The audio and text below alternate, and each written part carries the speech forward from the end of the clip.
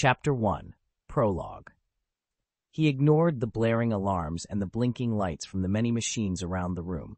He kept his eyes on the sizable ceiling-to-floor screen setup, displaying the skyline of a large metropolitan city.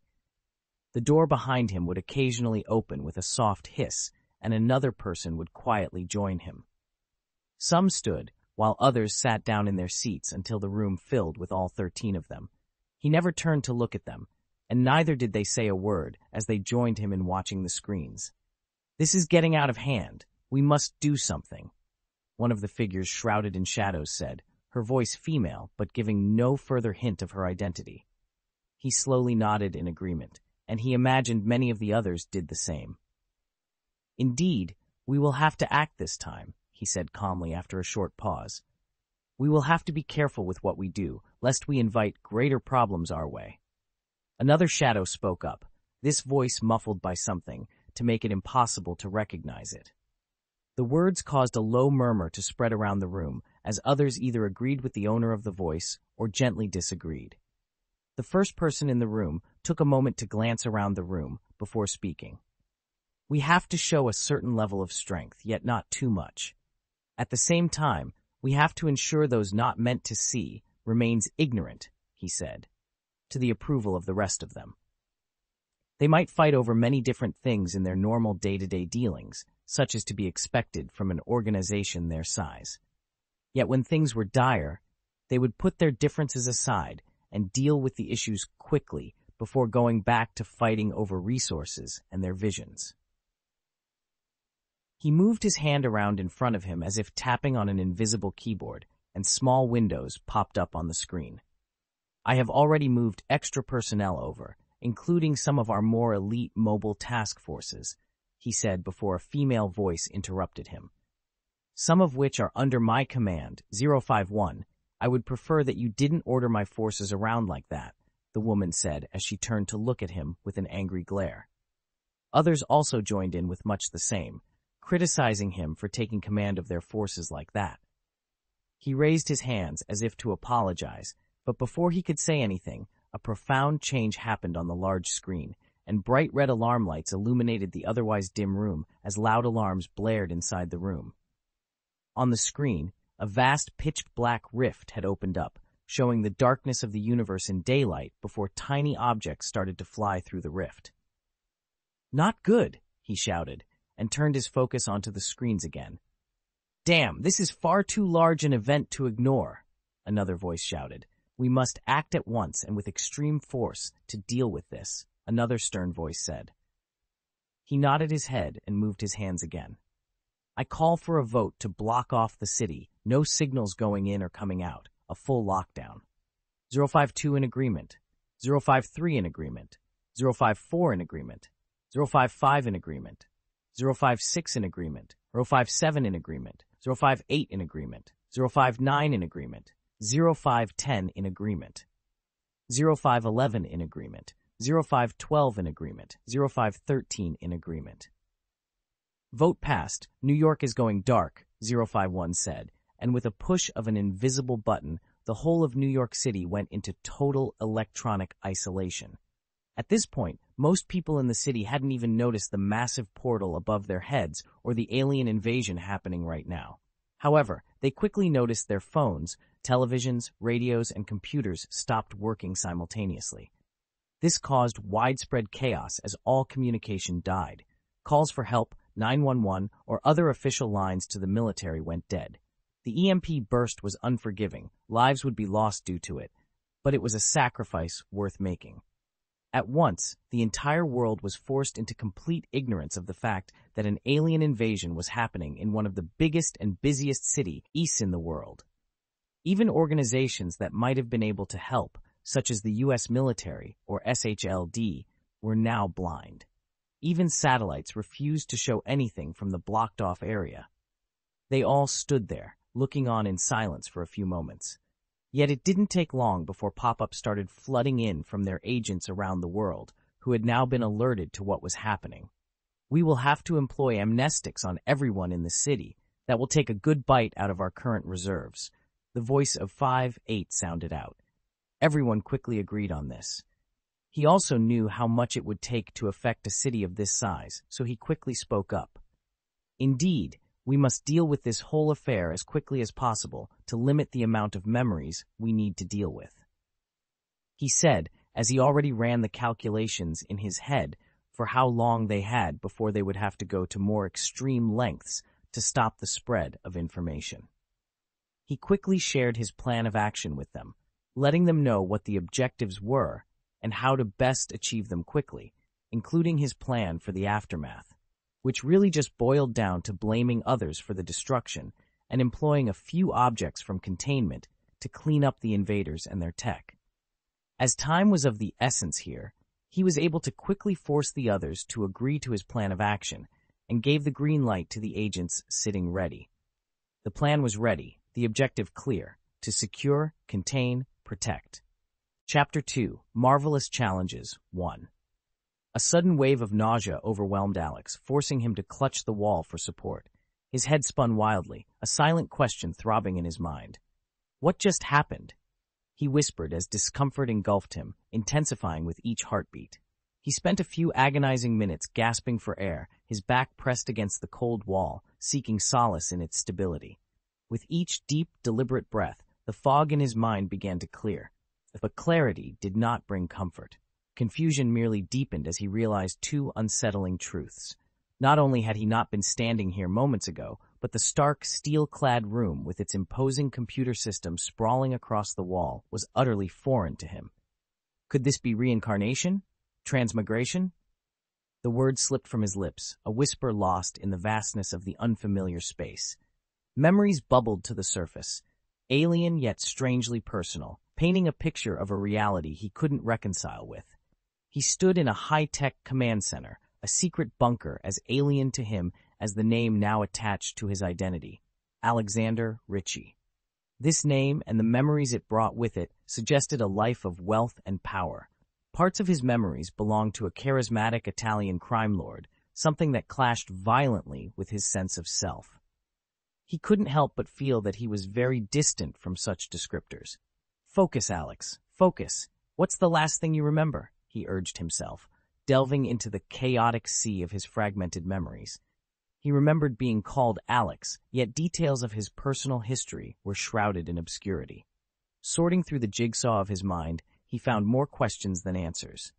His past life was a tapestry with too many missing threads, though his grasp on the broader world remained intact. His eyes snapped open, his frustration boiling over as he slammed his hands against the cold steel. Damn it, he exclaimed. Memories from both lives began to intertwine, including encounters with notorious figures like Xu Wenwu and Tony Stark. Fuck! I'm actually in the Marvel Universe. Alright, I've forgotten a lot. I recall being called Alex, but not much else about myself. Oddly enough, that doesn't scare me as it probably should. Slowly, he began sorting through his memories, sifting through a myriad of gaps in both his old and new, though the former were notably more elusive. His past life felt like a distant enigma, with only fragments surfacing amidst a sea of unfamiliarity. Despite the uncertainty, he retained a wealth of random general knowledge about the world around him. The revelation was staggering. Fictional characters from his past life were now terrifyingly real. Okay, deep breaths. Think, think, he muttered. I'm in the MCU, apparently playing the villain's role in this world. What does that mean for me? Overwhelmed, Alex considered the implications of his past in this world and the chaos yet to unfold in the future. He doubted his past deeds would spare him from Thanos' impending snap. Yeah, fat chance his karma would put him among the lucky 50%. As he paced, the new memories slowly started to become clearer. Let's break this down. I'm a New York-based crime lord in the Marvel Universe, though my power seemed far beyond the likes of Fisk. He pondered his next moves, even if I don't need to worry about him, New York isn't the best place to hang out in this world. What about relocating to Italy? No, it's too risky. Such a sudden major move would expose vulnerabilities unbecoming of a crime lord. No point escaping death by alien to instead die by mutiny. Alex also grappled with another puzzling inconsistency. How old am I exactly? His memories suggested a lengthy criminal career, spanning decades, if not far longer than that. Yet his reflection in the blank monitor showed a handsome man in his mid-twenties. How is this possible? Sure, the MCU has its means, but I don't recall using any. What's missing from this puzzle? His confusion deepened as he contemplated the out, the disjointed nature of his memories and the reality before him. There were glaring gaps in his understanding, pieces that didn't fit neatly into the narrative of his past. The world he now inhabited felt simultaneously familiar in its grandeur and alien in its finer details. Alex understood the importance of proceeding cautiously, meticulously assembling the fragments of his dual existence to navigate this perplexing new reality. Ding, congratulations to host for successfully transmigrating into a new and exciting universe. Startled by the sudden sound, Alex nearly jumped. The dead silence of his bunker was abruptly shattered by a disembodied voice, accompanied by a semi-transparent blue UI floating before his eyes. A system, huh? Alex muttered, his thoughts racing as he considered the chaotic and perilous nature of the MCU. In a world as dangerous as this, a survival and growth aid is more than welcome he concluded, acknowledging the stark reality of life in a universe where even the slightest misstep could lead to a premature demise, especially without the protective shield of plot armor. All right, this might not be so bad, Alex thought, contemplating the dangers of the MCU. It's perilous, but far from the worst. Plus, it offers opportunities to gain powers, opportunities I can exploit with my knowledge of the future. With a sense of anticipation, Alex sat in the lone chair in front of the computer system, noting its comfort.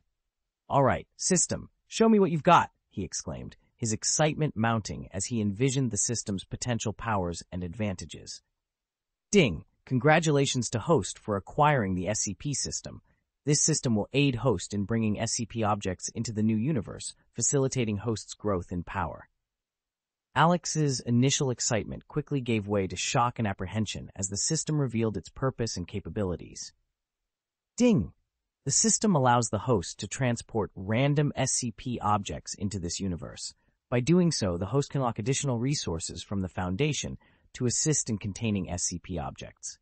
System, is it restricted to only summoning random SCPs? Alex asked nervously, well aware of the potential dangers associated with many SCPs, particularly those best avoided by anyone of sound mind. Ding, yes, host. All SCP objects summoned will be entirely random. The system responded with its cold, detached voice as if its words wouldn't instill terror in any who understood what it meant. Thanks, but no thanks, Alex quickly retorted, deciding against using the system. The risk of summoning even a single random SCP was too high. While he wasn't an expert on all SCPs, he knew enough to understand that many were far more trouble than they were worth, and a significant portion were world-ending Keter-class threats. Refuse to tangle with those monsters. Perhaps I should pursue magic instead. Magic, after all, has its own allure. Alex began to envision himself wielding various magical powers. However, his thoughts were interrupted by another notification from the system. Ding! Host, please be advised that host is required to bring at least one SCP to the new universe every month or be penalized. Alex's heart sank as the system's warning reverberated in the bunker. What kind of penalties? he asked, his voice laced with apprehension. Ding! The host will lose wealth and power at first, and further penalties can include the removal of host's extended life. A sense of dread enveloped him. Even though losing his extended life would mean death, he realized he might not even live long enough to face that consequence. As a seasoned crime lord, he understood all too well that losing wealth and power often led to a swift demise. With a silent prayer for humanity, Alex resigned himself to the inevitable. The SCPs had to be unleashed to preserve his own existence. Do you at least offer some kind of starter gift? he inquired, his tone reflecting his reluctance to engage with the system. Ding! Congratulations to Host for receiving the SCP. System starting packet. Ding! Host received one SCP of safe class previously unknown to the Foundation. Before him, a small golden ring materialized, floating and slowly rotating in the air. An irresistible urge to wear it washed over him. Gently rotating the golden ring around his finger, Alex admired the warm metal. The ring of the nine cats. Not bad at all. Asmile crept onto his face as he understood the SCP's function. It was straightforward, yet extraordinary. Nine lives in exchange for nine cats. The concept of the ring might defy logic, but who was he to argue with a ring offering resurrection? Ding! System has detected an uncontained SCP. Host is asked to place it in containment as soon as possible for the reward. The announcement caught him off guard, leaving him reluctant to part with such a life-saving artifact. It's a godsend for an ordinary mortal like me, he thought, reluctant to relinquish it. However, an idea suddenly struck him as he eyed the dozen screens in his command center, all displaying the SCP logo except for one, which requested login credentials. With a smirk, he whispered, can't hurt to try, and initiated the login sequence. Please provide credentials. The screen changed, and with a smirk, he confidently provided the requested information. Authorization 051. He figured that since he was to be burdened with the Foundation, he might as well claim the top spot, and his experiment paid off. The screen changed in response to his verbal command, and as the computer unlocked for him, so too did information seem to unlock in his mind, guiding his actions. He swiftly created an SCP entry, restricting access to O5 clearance. Object Class THAM Special containment procedures must be worn by a member of O5 at all times. As soon as he finished his entry, he heard the ding of his system, and he couldn't help but laugh as he read its message. It fucking worked! Ding! Congratulations to host for the successful containment of the SCP object and the improvement of the SCP database. As host contained his first SCP before opening the free Foundation personnel packet, host has proven himself worthy of overseeing the Foundation, and additional rewards have been unlocked. He could hardly contain his disbelief and joy as the system went on. He didn't expect something like that. Heck, he didn't even know he had a personnel packet waiting to be opened in the first place. Ding! Host has been rewarded with Site 0111, a Class 3 Foundation facility in Washington, D.C., 500 Class C combat personnel, 50 research personnel, 100 administrative personnel, and 30 maintenance personnel. Ding! Host has been rewarded with Site 014, a Class 4 Foundation facility in New York, 50 Class B combat personnel, 5,000 Class C combat personnel, 250 research personnel, 1,000 administrative personnel, and 150 maintenance personnel. Host has been rewarded with Unit Alpha 1 250 highly trained combat personnel of Class A as personal protection to members of O5 High Command. Ding! Host has been given an additional reward of the SCP Foundation Disinformation Branch, including Site 644, a Class 5 Foundation facility, 200 Class B combat personnel, 5,000 Grade C combat personnel, 500 research personnel, 1,000 administrative personnel, and 300 maintenance personnel. One the thousand undercover agents loyal to the Foundation. That last one was a surprise, though a welcome one. He knew S.H.I.E.L.D. would be out for his blood if they caught wind of him. Not to mention that capturing, securing, and protecting SCPs was not the only job of the Foundation. He also needed to keep the masses ignorant of anything anomalous, and this last reward would go a long way towards making that possible. With all these undercover agents, surely some are embedded within S.H.I.E.L.D. and Hydra, he mused. Dealing with S.H.I.E.L.D. seemed a daunting task, especially with Nick Fury at the helm. Ding! Host has been given the additional reward of three safe class SCPs in containment at Site 001. And what was Site 001? Well, he is currently sitting in the command center of it. His whole mansion is the site, and his underlings are mostly SCP Foundation members. New knowledge unlocked in his mind, making him aware that he was in charge of getting funding from the underworld, doing dirty deeds, and getting Class D personnel for Foundation use. The revelation that his underlings wouldn't betray him brought significant relief, alleviating one of his primary concerns. This was, however, tempered by the realization that he would now be constantly in the presence of elite agents trained to detect unusual behavior. This posed a problem, considering his persistent and somewhat troublesome habit of talking aloud to himself. Well, there's nothing I can do about that, so let's go look then, he said rather excitedly while pushing his worries and concerns to the background, walking towards the bare wall to the right of his chair. Standing there, he could see no clue that this wall was anything but just that, a wall. He, however, now knew better. Blackhound howls in darkness. The wall slid open at his words, revealing a well-lit tunnel lined with vault doors leading to a spacious locker room. Plenty of space for SCPs down here. Almost makes me want to collect them all, he mused, chuckling at his own inner joke as he stepped into the room. The area was mainly equipped with containment lockers for safe-class SCP objects. His gaze, however, was drawn to a large safe in one corner. SCP-216, the safe, not the most exciting SCP, but perfectly harmless, so that's good. He said to no one as he stood before the safe. As he was looking it over, information about it entered his mind. It was a safe for which every combination would open a different interior space, making it possible to access whatever was placed inside only with the right combination. A bit underwhelming. There are definitely more intriguing safe-class SCPs out there, he reflected, moving to a locker labeled with a number. SCP.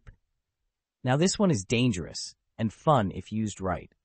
Alex stood there for a bit, thinking about how to use this SCP to amuse himself, and went to the final filled locker with his face flushed red. And here we have SCP-05, a key that can open any and all locks. Useful but risky, it could cause havoc in the wrong hands. Satisfied with this last SCP, he nodded to himself and left the room, hearing the wall close behind him with a soft hiss. Back in his control room, he couldn't shake the concern about the random SCP he would soon need to summon. It could be something beneficial, like SCP-500, or it could be catastrophic. He recalled the numerous SCPs he had read about, many of which he preferred not to summon, especially now with the Foundation still in its infancy.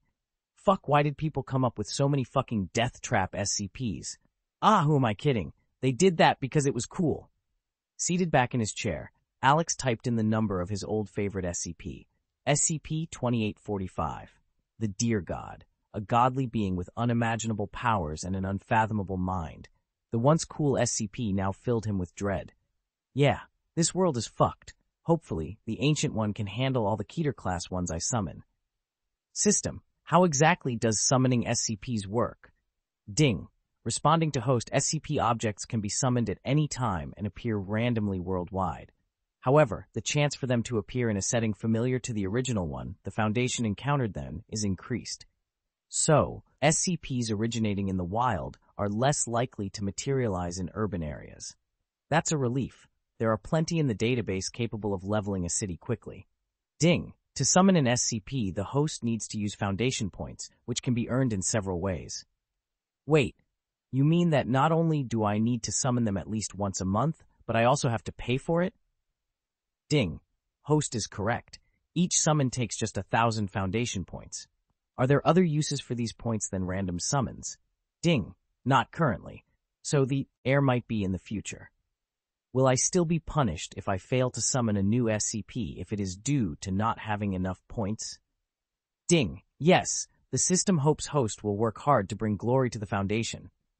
Alex sighed heavily, realizing the weight of the responsibility placed upon him. Looks like I have my work cut out for me, he muttered under his breath, steeling himself for the challenges ahead. How many points do I have now? Ding, host has 200 points for containment of SCP-001, though host has one free summon as part of the starting packet. Right, didn't I also have a free Foundation personnel packet? Ding, use all free packets? That might summon the SCP, but I must do that at some point anyway. I could wait, but that might be a bad idea. It's the 15th today, so I have half a month to secure and contain it before considering the next one. Would be even more dangerous if I have more than one out there at a time. Do it. Ding. Congratulations to Host. Host is rewarded with Site 160, a Class 3 Foundation facility in Canada. 500 Grade C combat personnel, 50 research personnel, 100 administrative personnel, and 30 maintenance personnel. Ding. Congratulations to Host for being promoted to 051 and becoming the highest ranked person in the SCP Foundation. Ding. Congratulations to Host for getting access to the 051 bank account. Host is now rich. Warning. Host and SCP has appeared in the world and is outside Foundation control. Host is asked to deal with the situation and follow the Foundation's goal of securing, containing, and protecting. Ding. Warning. SCP-77 has appeared. To contain SCP-77, Host is rewarded with a new system function. SCP location tool can help host find the location of SCP objects.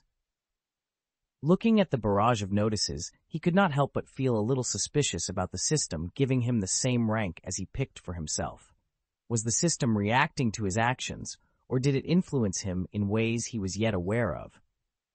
Then, there were concerns about the possibility of other members of Row 5 appearing in the future. He might not have had the foundation for long, but he liked the idea of it being entirely his. Still, though, SCP-787. Rather disappointing that one. Safe, sure, but boring as well. Not to mention the question of whatever containing it will give me enough points for the next summon. After all, the last safe class object I contained only gave me 200, though that might just be due to how I went about doing it. Taking the elevator up from his bunker, he appeared in the master bedroom of his manor while taking note that he had been given another Foundation facility of C grade. This one had a large enough hangar for the SCP object he needed to contain, though sadly, it was much too far away to be an effective choice. Attention!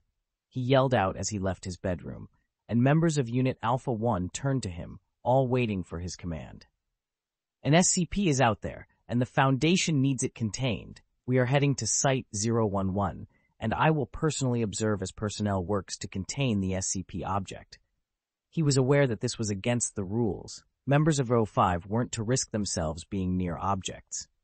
Yet rules are dead, and he is very much alive, so no questions were raised. Neither did they question how he knew about this object.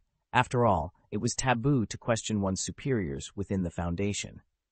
All agents, in perfect unison, acknowledged with a simple, Yes, sir, as Alex proceeded towards his personal helicopter.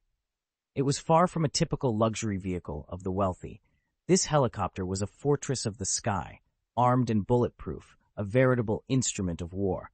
Only thanks to the Foundation could he possess such an asset. He was confident that if the military ever discovered the advanced technology it harbored, they would spare no effort to claim it for themselves.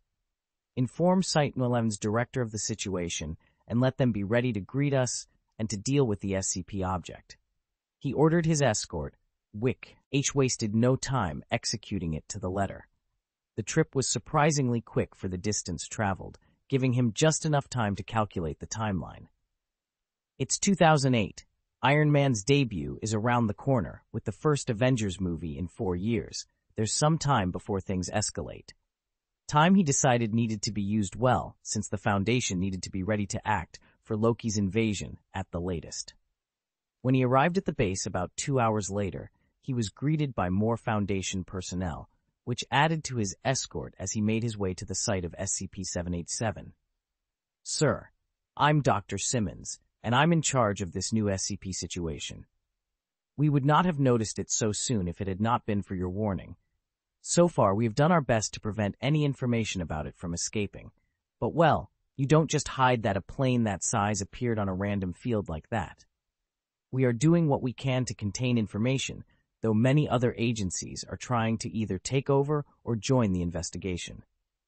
The doctor kept briefing Alex about the situation as they drove toward the site in a large formation of pitch-black jeeps, a sight that did not go unnoticed by the locals.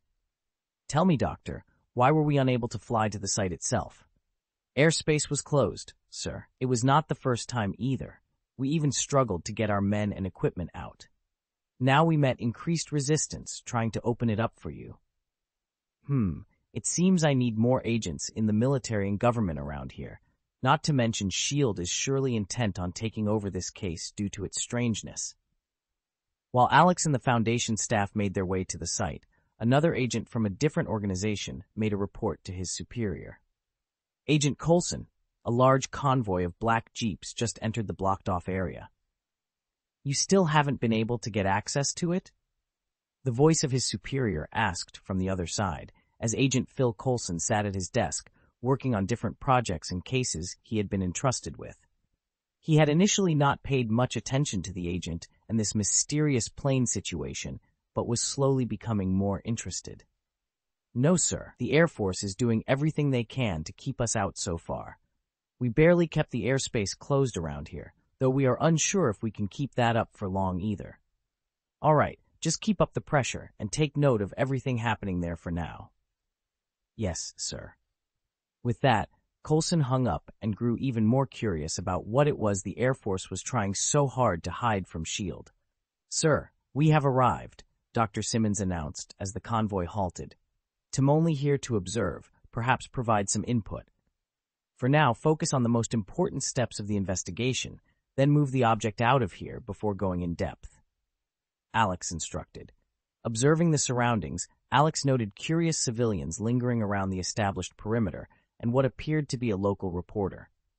Among the crowd, a few individuals, dressed a bit too sharply to be ordinary onlookers, caught his eye. Likely agents from S.H.I.E.L.D., he surmised. His own personnel, donned in military uniform, effectively barred them from getting too close, citing their strict orders. Internally, Alex pondered the complexity of his situation. Maintaining secrecy from S.H.I.E.L.D. is proving more challenging than anticipated, the Foundation's methods can be quite intrusive, and S.H.I.E.L.D. isn't accustomed to being left out, especially not if we are going to have incidents occurring monthly. As he contemplated strategies to manage S.H.I.E.L.D.'s involvement, Foundation agents diligently inspected the SCP. Alex knew that due to the loss of many Foundation sites that the database for SCP objects was currently empty.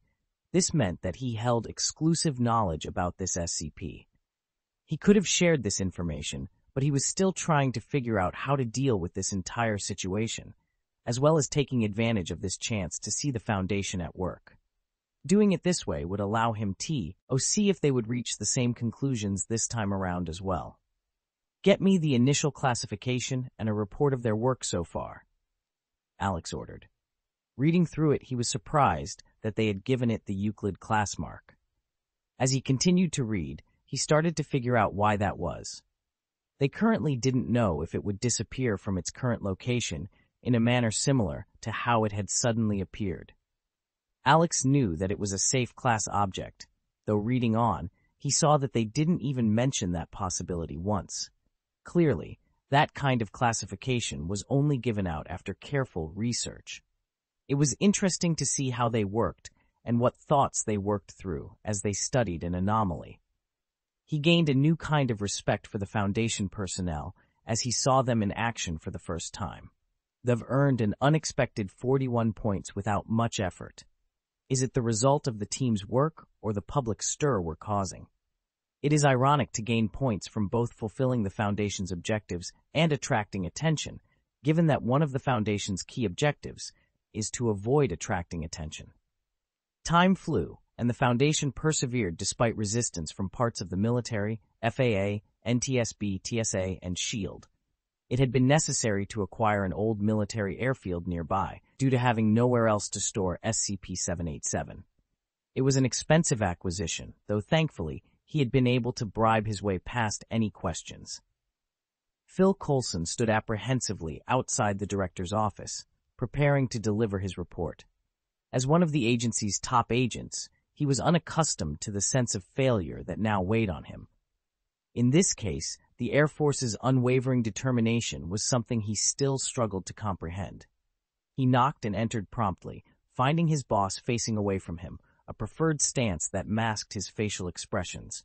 While also showcasing the trust he had for him, he wouldn't show his back to him otherwise. So, what do you have for me, Coulson? His boss inquired. Yes, sir. One regret to inform you that we've hit a wall. The Air Force completely stonewalled us, sir, Coulson reported, bracing for a response. Continue, came the tense command. Yes, sir, we have scant details about the aircraft. It bore no identifying marks or numbers. We identified the plane's model, but that trail went cold as we found no missing aircraft of that type reported, and all crafts seem accounted for. Under pressure, the investigators did reveal that the plane carried passengers, or rather, bodies. There were 515 deceased individuals, presumably passengers and crew. Can we confirm that? We managed to obtain a photograph of the interior. It was in disrepair, littered with bodies. Disrepair? Elaborate.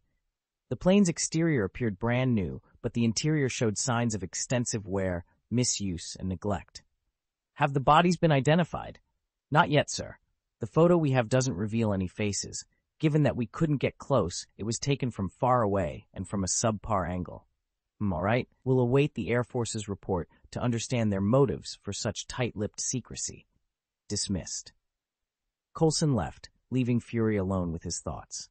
Determination stirred in him. He was resolved to uncover what the Air Force was concealing from SLA for Lee LD. Ding! Ding! Congratulations to the host for containing SCP-787. Rewards are being given out. Ding! Host has been rewarded with three stealth Quinjets in all current bases and 50 engineer-class personnel at all sites. While not extraordinary, the reward was nonetheless valuable, reminding Alex of the potential benefits the Marvel Universe's technology could offer the Foundation. 051 to all site directors, you have been allocated three stealth Quinjets. If additional units are needed, reverse engineering is authorized to understand their mechanics. Coordinate amongst yourselves to achieve this shared objective. Alex abruptly ended the com communication, putting his phone away, not waiting for a response, and resumed his leisurely position by the pool. He reclined in a chair, leisurely sipping a glass of red wine. Now, this is quite the way to enjoy oneself. Imagine if the pool were graced with naked beauties, he mused, allowing himself a moment of indulgent fantasy. However, his thoughts soon drifted back to SCP-113, prompting him to shake his head vigorously to clear the provocative images. That SCP is more treacherous than its file indicates. Could it possess a memetic effect? He wondered, striving to settle into a more relaxed state. Even though Alexander Ritchie was accustomed to a life of luxury, he himself was not. Therefore, he rationalized that a bit of celebration for today's achievements was perfectly acceptable. Chapter 3 Shadows and Schemes 2 Alexander Ritchie stood in the heart of his elegantly appointed bedroom, bathed in soft ambient light highlighting its stylish decor. He approached the sleek minimalist closet door and pressed a hidden button. A smooth mechanical voice broke the silence, asking, What is today's theme? Business as usual, Alex replied with a hint of resolve in his voice. Instantly, the doors slid open with a barely a hiss, unveiling a meticulously organized collection of form-fitting black-tailored suits and an array of complementary ties. He selected his attire with practiced ease, the fabric hugging his frame perfectly. As a final touch, he affixed a small black and gold pin, the emblem of the Foundation, to his chest, a subtle nod to the allegiance that underpinned his every move. Descending to the dining room, Alex savored a breakfast crafted by his skilled chefs, each bite a blend of nutrition and culinary artistry. Yet, as he accessed the system to check his points, a shadow crossed his otherwise composed demeanor. The system's chime was both a reminder and a rebuke. Ding, host has 846 foundation points. Keep working hard for the glory of the Foundation. Despite utilizing every resource at his disposal, including gift packets and bonus rewards for an obscure achievement, not to mention containing the SCP object, Alex found himself short of the points needed for the upcoming mandatory summon. I must find a solution before the month ends, to not only prepare for the next SCP, but also to ensure I have a buffer of points for the future, he mused with a strategic mindset, aiming for a new operational benchmark, to start each month fully prepared. His return to his room was met with routine, yet the act of pressing the closet button and hearing the familiar inquiry, what is today's theme, felt like a momentary escape from his pressing concerns. Casual as always, he responded, though the reveal of a steel wall instead of clothing reminded him there was no true respite in his world. Authorization 5-1, he commanded. A panel slid open, and upon scanning his hand, the steel wall silently parted to reveal an elevator. His prompt, down, please, initiated descent into the heart of his operations, a command bunker that was both sanctuary and center of his endless toil. Seated at his command, Alex navigated through a flurry of emails and demands, his decisions swift and often uncompromising. A thought lingered in his mind, a strategic consideration for the Foundation's future.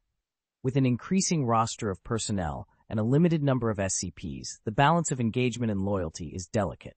Our relevance and contribution to humanity are what bind their loyalty.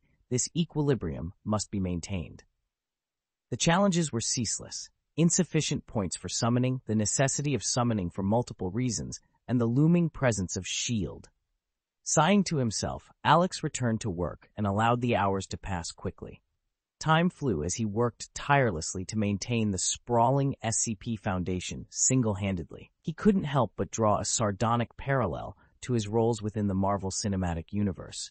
Not the glamour of a magic-wielding hero, but the gritty reality of a bureaucrat buried under paperwork and financial burdens. The very idea of being transported into a world such as the MCU, and then, rather than partake in all the excitement, he instead had to do boring and mundane work day and night. And after all this work, I wouldn't even be worth more than a B-show TV series as a villain. He thought mockingly to himself, though I really didn't need that extra 5-1 bank account to be rich. Alex said to himself as he was trying to come to terms with just how much money he really had. Sure, on the surface, Alexander Ritchie had a worth of around 800 million USD, but in the underworld, his wealth ballooned to 600 billion. With a B, though there is a lot of money going into just running the Ritchie family, not to mention what is needed for the foundation. Running the Ritchie family and the foundation is financially draining, he noted. The setting he found himself in, heading one of the foundation's financial arms, was fortuitous as the system assigned sites and bases demanded significant funds. Remember reading somewhere that it was rumored that the Chaos Insurgency was a part of the foundation that took care of the dirty work. Is that what I am? Head of the insurgency and 5-1. All the stuff I do as head of the Ritchie family is dark stuff, and my people are foundation people. He pondered, considering the implications of his dual roles. Sure is a lot to take in in so little time. Alex thought to himself, still feeling slightly off about the whole thing. After all, he had never had to run any business before yesterday, and now he was running the damn foundation. Though at least I won't lack D-class personnel, that's for sure. He couldn't help but think as he read notes and files from the many thousands of agents under him who oversaw gangs around the world. All of them offered the criminals under them up for D-class work. Still, I need more money and more undercover agents everywhere to ensure I can work in secret. Can't have S.H.I.E.L.D. get in the way of Foundation work. They might be trying to do what we are, but they can't do it. Not as long as they are under the thumb of the government. Fury is many things, but willing and able to break out is not among them.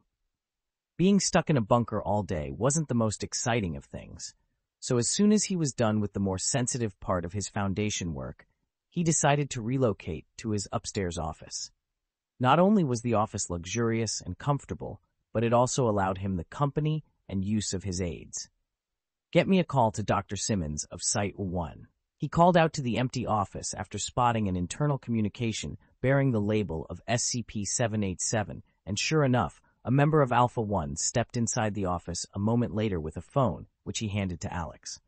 Dr. Simmons? Yes, sir. I'm here the doctor responded. Very well, I would like a report about the SCP situation and if any more challenges have presented themselves while trying to contain it. Alex asked lightly while going through a bit of paperwork. Yes, sir. So far we have found no anomalous properties to the SCP object, other than the fact that it could not have appeared like that on its own with normal means. We also believe that we are dealing with SCP Object 787, Sir, I know that you are likely aware and already working on a fix, but about the loss of the database and the containment breach. Alex quickly interrupted the good doctor there. You are right to assume that I am aware. The O5 Council is also meeting right now about the situation. For now, just focus on the task ahead. He really didn't want to be reminded about that messy situation again. Even with only a few sites, he was still drowning in requests and concerns about that damn issue. Yes, sir, we are currently working with the assumption that it is SCP-787. We don't have the file itself due to the current situation, so other than the name and the fact it was apparently a safe class object, well, the staff here don't have anyone else who remembers much about the object. So for now, we are still going through the process step by step, so once we recover a copy of the file, we can match our findings with that to confirm our theory. Teat was doing this work, we found another instance of SCP-787-1. It was recovered from the waste storage tank of all places. We are working on identifying all instances of 7871 so far, and progress is being made. What we have discovered so far gives little clue as to the nature of Object 787 itself. As for the other point, there is more to report on that front. We have had multiple attempts of infiltration to the new Site 787, as we have called it until a proper number is assigned. The agents that helped secure the SCP object are all being pressured into giving up data or even releasing SCP-787 itself to external parties. Dr. Simo, NS dutifully reported all he knew, though it was little information the system hadn't given him already. However, Alex still wondered how that person entered the waste storage tank. Give them something to chew on, can't let them turn desperate on us for now. If needed, get help from Site 644 in writing up something and let it leak out to those trying hard enough. Otherwise, you may continue doing as you are or move the SCP object to Site 160 if possible. You have my permission for that, at least. Alex finished off before letting the doctor get back to his work. A need to somehow deal with S.H.I.E.L.D., which is not going to happen anytime soon. They have too much manpower and are getting the support of the UN and USA. He thought to himself as he finished up the last of his work. Alex once again found himself lounging in front of the pool with a glass of wine in his hand as he slowly started to form plans in his head.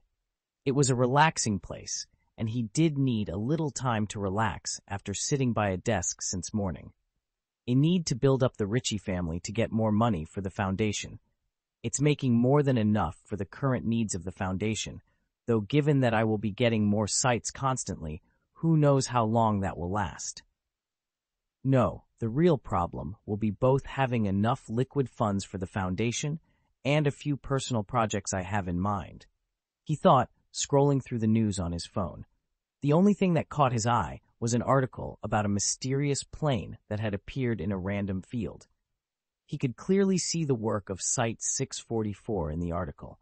It was so crazy that had it been about a UFO instead, it would probably have been more believable. Next, we just need a big event that will shift attention away from it. He slowly deduced, and suddenly he had an idea. Tomorrow morning, I want a story in the news about Tony Stark becoming a father. Alex said out aloud, and even though he didn't get a reply, he knew that it would only take minutes before that story was written up. Ah, how he enjoyed being in charge. Now, if only he could get a picture of Tony's reaction to learning that his secret child made the news worldwide. Tony Stark's home. Tony was busy being a brilliant engineer and inventor for once, rather than a useless playboy when he suddenly sneezed. Oh, is someone talking about me? Tony thought as he scratched his nose before getting back to his work with a smile on his face as he surely imagined some model or movie star with his name on their tongue. 001 Back at his dinner table, Alex attentively listened to reports on the Ritchie family's activities.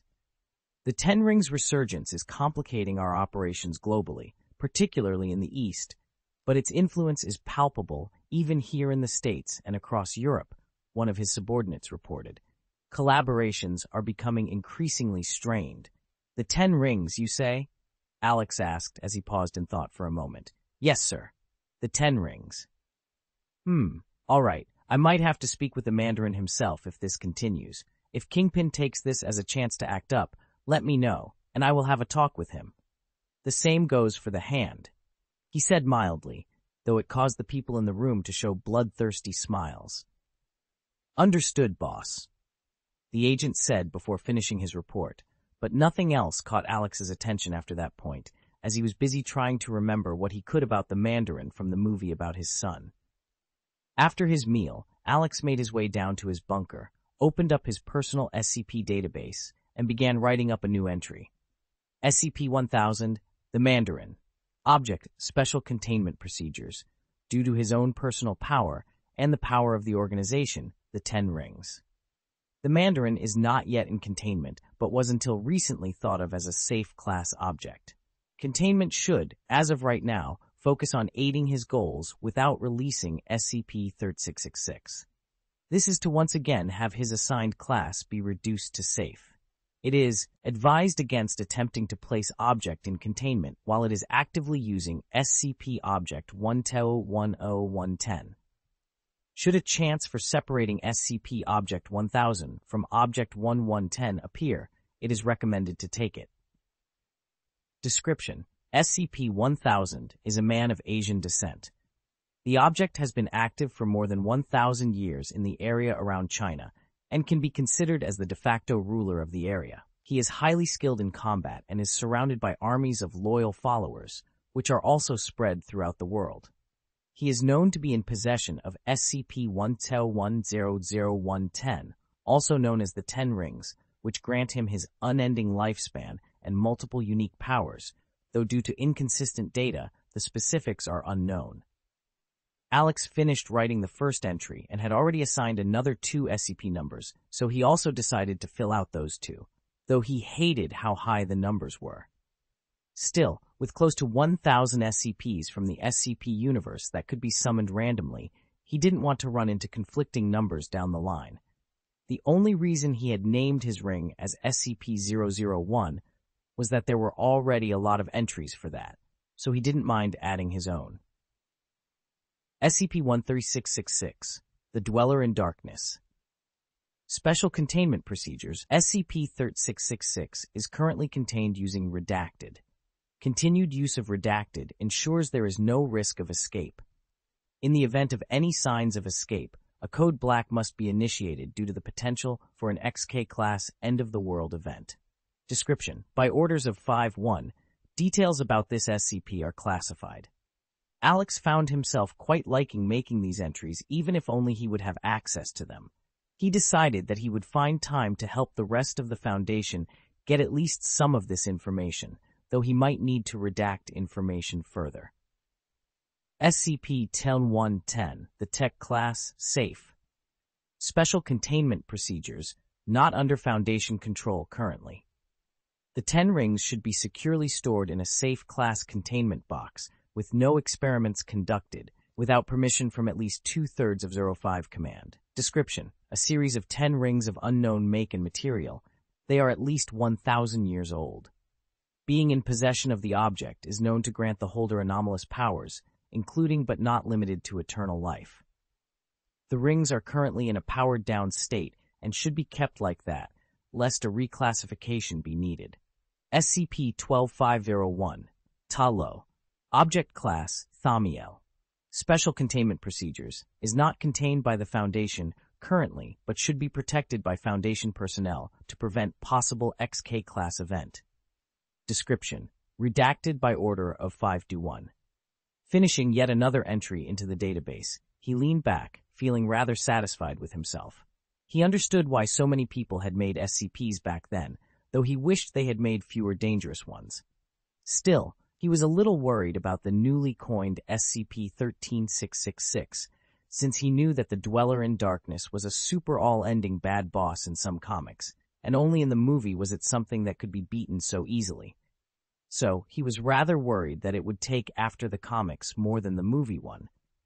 Guess I should try not to let him be released in the first place. Should have a few decades for that, right? Alex whispered while leaning back and thinking about how he should go about that. Dealing with the Mandarin won't be easy. One doesn't rule as a warlord for that long and not have a few tricks up his sleeves.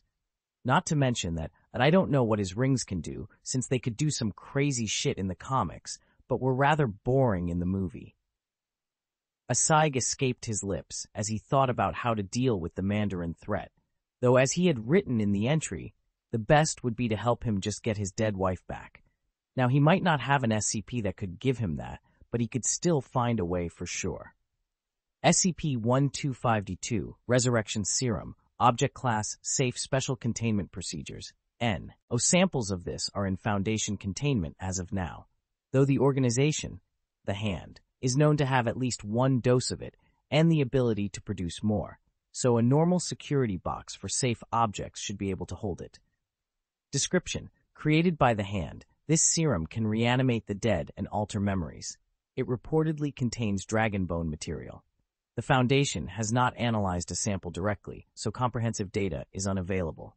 SCP-254 Object Class Special Containment Procedures Not in Foundation Custody Maintain at temperatures below 25 degrees Celsius. Description. A Kree corpse from the 1995 incident, currently in S.H.I.E.L.D.'s possession. It has potential resurrection capabilities, but may induce side effects treatable with potent amnestics.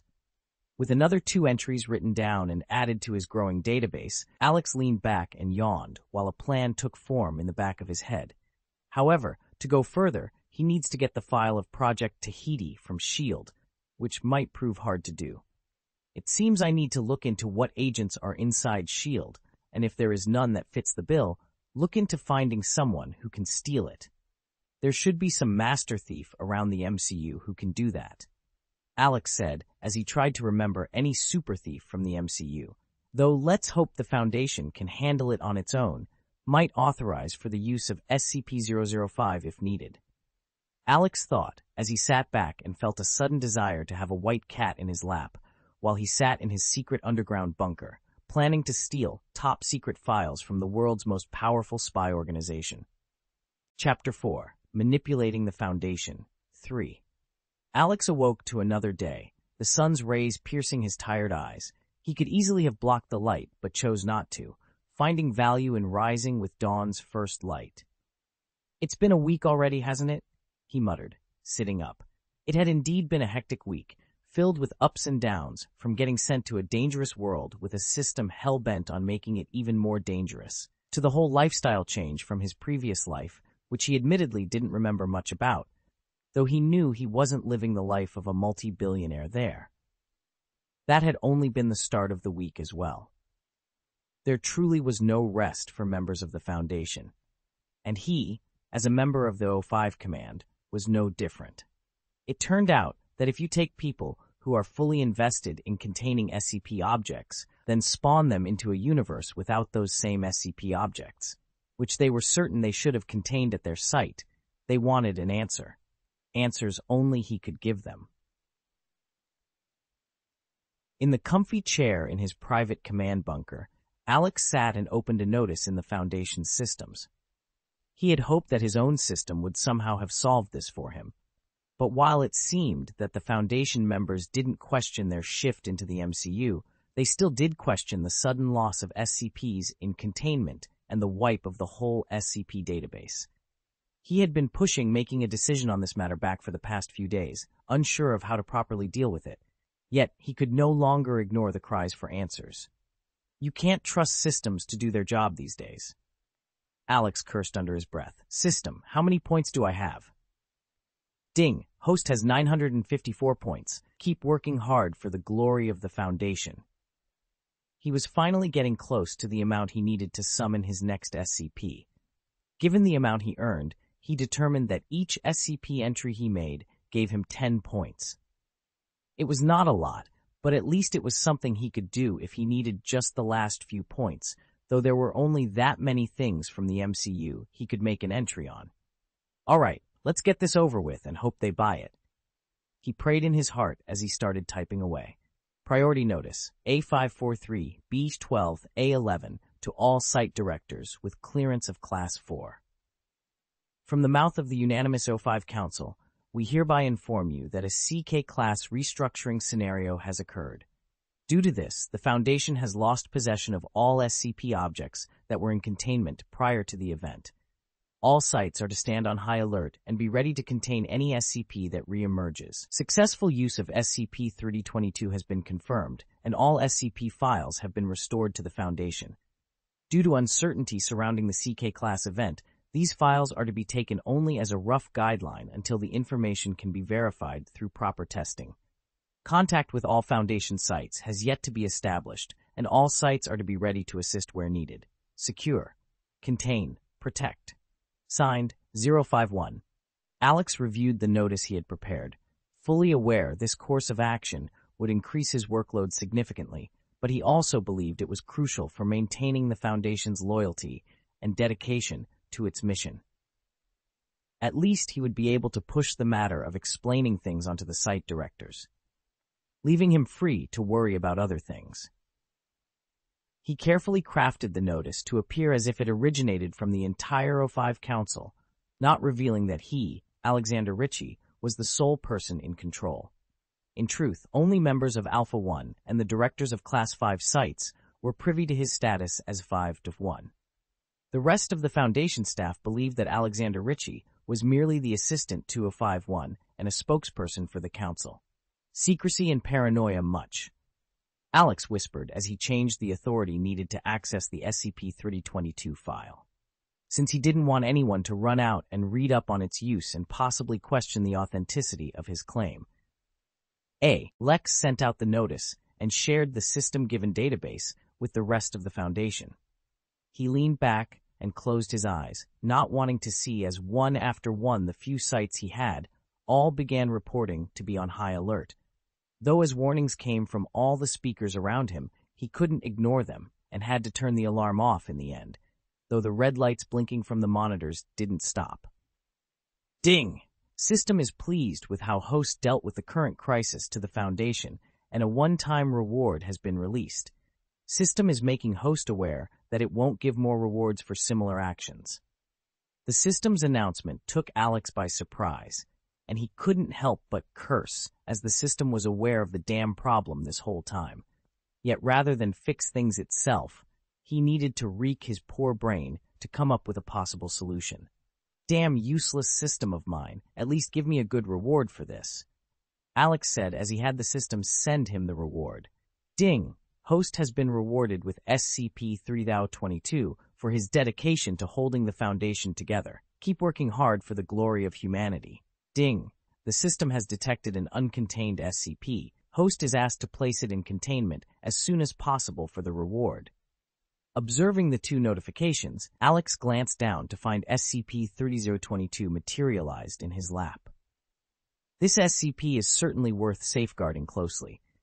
He resolved, swiftly rising to secure the SCP in a spare vault within his containment wing.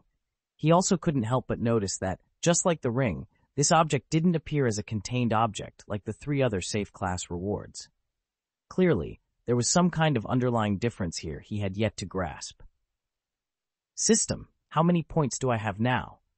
Alex whispered under his breath while he dressed in another of his black tailor-made suits. Ding, Host has 1814 foundation points. Keep working hard for the glory of the foundation.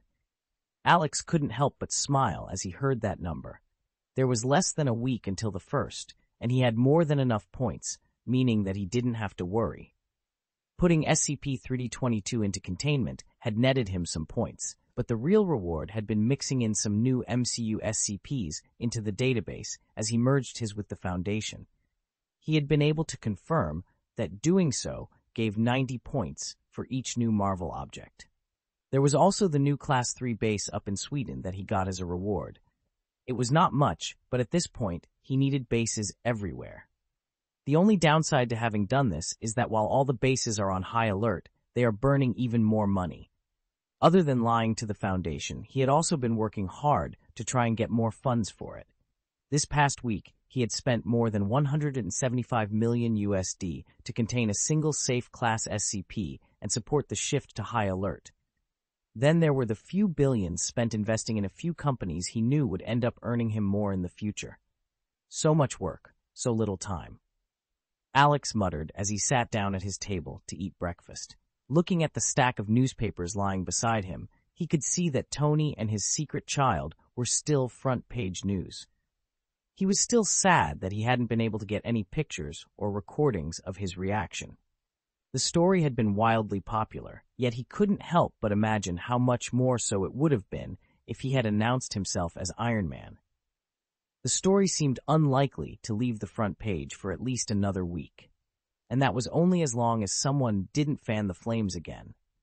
With Tony Tony Stark, the most brilliant man in the world, not to mention the richest and most handsome, had not had a good few days. It all started one morning when pretty much every single newspaper ran a story about him fathering a secret child. Now, it wasn't like Tony didn't engage in plenty of activities that could result in such a thing, but he was always careful. Damn it. Pepper hadn't even wanted to speak to him if it wasn't about work further, he past few days. Damn it, if it wasn't because suing every news agency in the world would be too much work, I would do it. Whoever you are, I will get you for starting this damn rumor. Tony swore as he saw that every media in the world was still running wild with this story. In fact, among his close circle, only Obadiah Stane seemed to be happy with the news since it had bumped up the stock of the company, and he seemed sure it wouldn't fall when the story finally fell out of the spotlight. Tony was half sure Obadiah might even be feeding the rumor himself by now. Back with Alex. With only a few days remaining before the next SCP summoning, Alex resolved not to initiate any new projects until this critical task was managed. However, this decision didn't mean a respite from his duties, as he was consistently engaged with both Ritchie family and Foundation affairs. Now back in his control bunker, Alex diligently oversaw the Foundation's agents and sites. The state of high alert for SCPs had led to the identification of several potential leads within the MCU. While no SCP objects had been secured yet, his agents were actively following up on the clues. It's reassuring to see them excel in their roles independently. As long as I get more undercover agents in S.H.I.E.L.D., I should be able to get SCPs from under their noses. After all, they are the people who would typically deal with such things. Alex thought with a smirk on his face at the image on Fury's face as he split his head over who was messing with him. Speak of the devil, and he shall appear. It would seem Fury have set his eyes on a little spider. Alex mused as he read an email from one of his few agents undercover in S.H.I.E.L.D. that said that Fury was targeting Black Widow. Won't be long before she joins up now. Alex contemplated his strategy regarding Natasha Romanoff. Should he intervene and recruit her before she joined S.H.I.E.L.D., taking the safer but less advantageous route? Or should he wait for her S.H.I.E.L.D. enlistment, opting for a riskier but more rewarding approach? He sent a message back to his agent, instructing them to monitor the situation closely and report any developments. In the meantime, he continued his work as usual. His focus was on an agent who might assist with a specific task he had in mind. Tomorrow is the big day, eh? Finally, I will be bringing yet another SCP here, six safe ones so far. I got to admit, I kind of want a Euclid one this time. Alex thought to himself as he lay at his favorite spot near the pool with a glass of wine. He just watched the empty courtyard and allowed his mind to wander. Sir, the game is starting soon. A guard came up and said from a respectful distance, T will be watching it from here. Alex replied lazily as his subordinates got to work, bringing out a flat screen for him. Soon, the soothing tranquil was broken by the sound of the football game. The real deal, not that stupid American kind. Look at that, Alex said, pointing to the screen where one could see thousands of people filled with joy and hugging one another wildly as their team scored a goal. This is why we do it, to protect the civilians and keep them ignorant of the dangers out there so they can enjoy their life. He told the guards hidden around him. He enjoyed watching the game, yet he couldn't help but feel that watching it only after the game had concluded wasn't quite the same.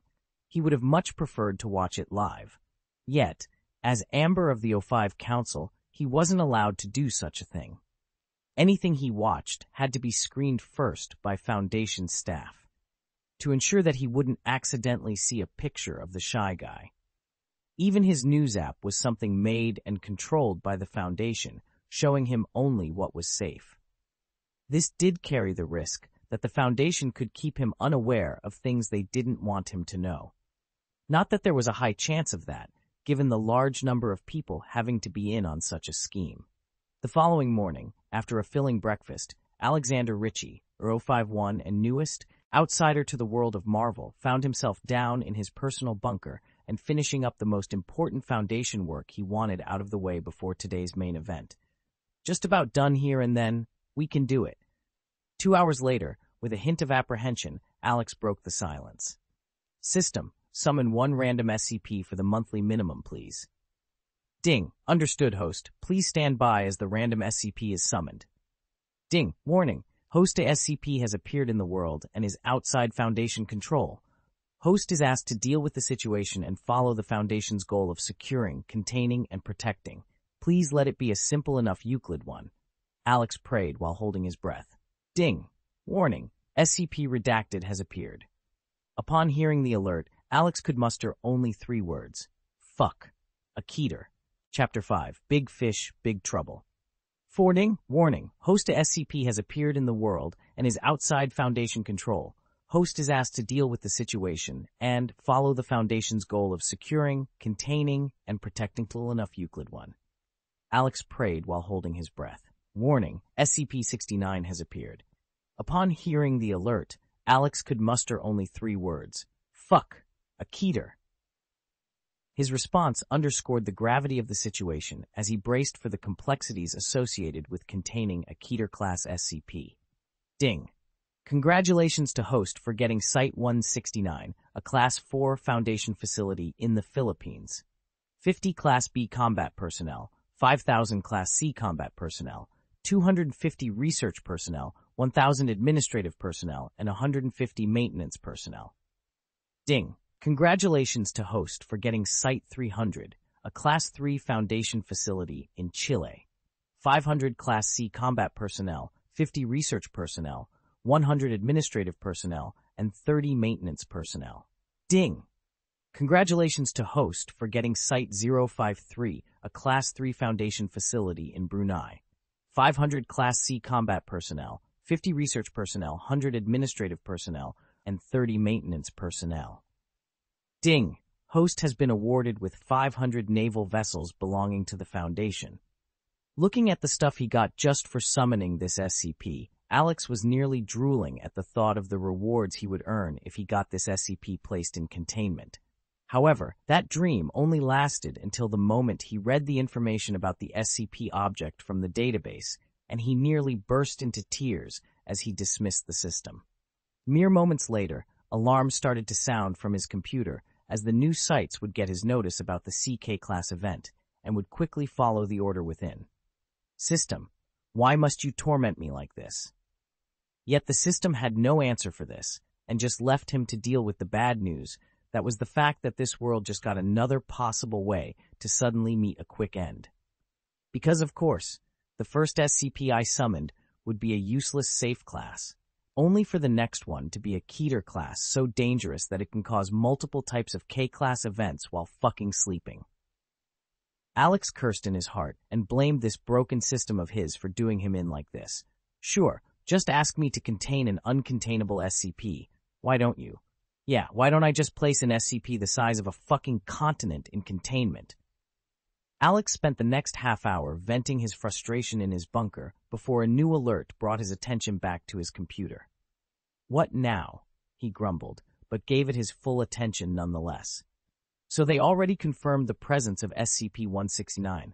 Well, they are more useful than my damn system, that's for sure. Why my oh-so-useful SCP locating tool is ever so helpful in informing me that SCP-169 is on Earth. Like, I would care about it at all if it was anywhere else. So yeah, thanks for being so specific. With a sigh, Alex simply informed the sites to keep an eye on the SCP object and not allow anyone else to come and disturb their sleeping giant. He could easily imagine Hydra trying to do something that would end up waking up the Leviathan while striving to further their little goals. Guess I might just get back to work. Not going to get any action out of 169. This month will be about expanding the Ritchie family. That, and dealing with the ever-increasing Foundation work. Alexander and the Foundation were not the only ones picking up on the appearance of a creature as large as SCP-169. No, atop a snowy mountain sat a woman whose eyes snapped open the moment Alex's system informed him of the SCP being in the world. The bald woman quickly closed her eyes and sunk back into meditation as she sought out the source of the disturbance she had just felt. A life source this strong? she exclaimed in shock and disbelief as she felt a massive source of life energy, one far stronger than anything she had ever felt before. She quickly toed up and formed a golden portal, the Ancient One, the Sorcerer Supreme, stood in the air over the ocean and looked down. Her eyes easily pierced through the waters to behold the colossal creature below. Shocked, she struggled to comprehend its immense size. This is impossible, the way it is laying, almost as if it has been there for countless years. She whispered, as she couldn't believe that this creature had been here long before she was born, and she had never noticed it. Why have I never seen anything like this in all the many futures I have seen? She questioned herself before shaking her head and leaving through a golden portal. Never knowing that someone had seen her and that a report would get sent about her to a mysterious man in New York. Alex was just finishing up the SCP entry for a certain bald sorcerer who had spooked his agents earlier that day. Ultimately, he had no choice but to promise to make available the top secret file on the SCP that had been spotted above 169. To do that, he just needed to write such a file first. Object Class Special Containment Procedures SCP-77 remains outside Foundation control due to the challenges of containment, the risks involved, and the fact that SCP-77C7 is actively working on containing an unknown number of SCP objects, many of which are Euclid or Keter class. Description: The object appears to be a woman of Asian descent, is bald, and wears monk robes. She is the current leader of the group of interest, Masters of the Mystic Arts.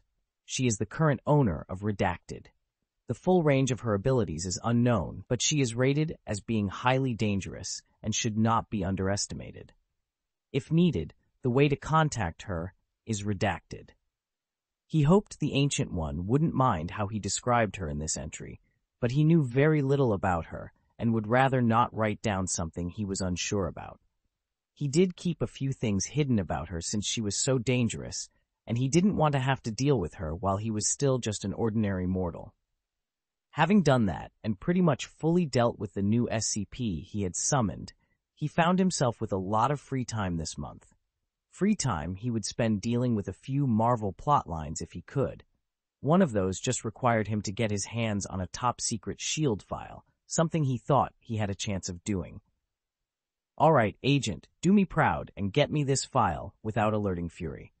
Alex said under his breath as he greenlit the mission and gave the okay for the requested resources. It had been a week since Alex decided to give the green light for the mission to get the file of Project Tahiti, and finally, he got his hands on it. He had to admit it did make for an interesting read for sure. He was very impressed with how S.H.I.E.L.D. had studied SCP-1254. Still, he would like to think his foundation would have done a better job.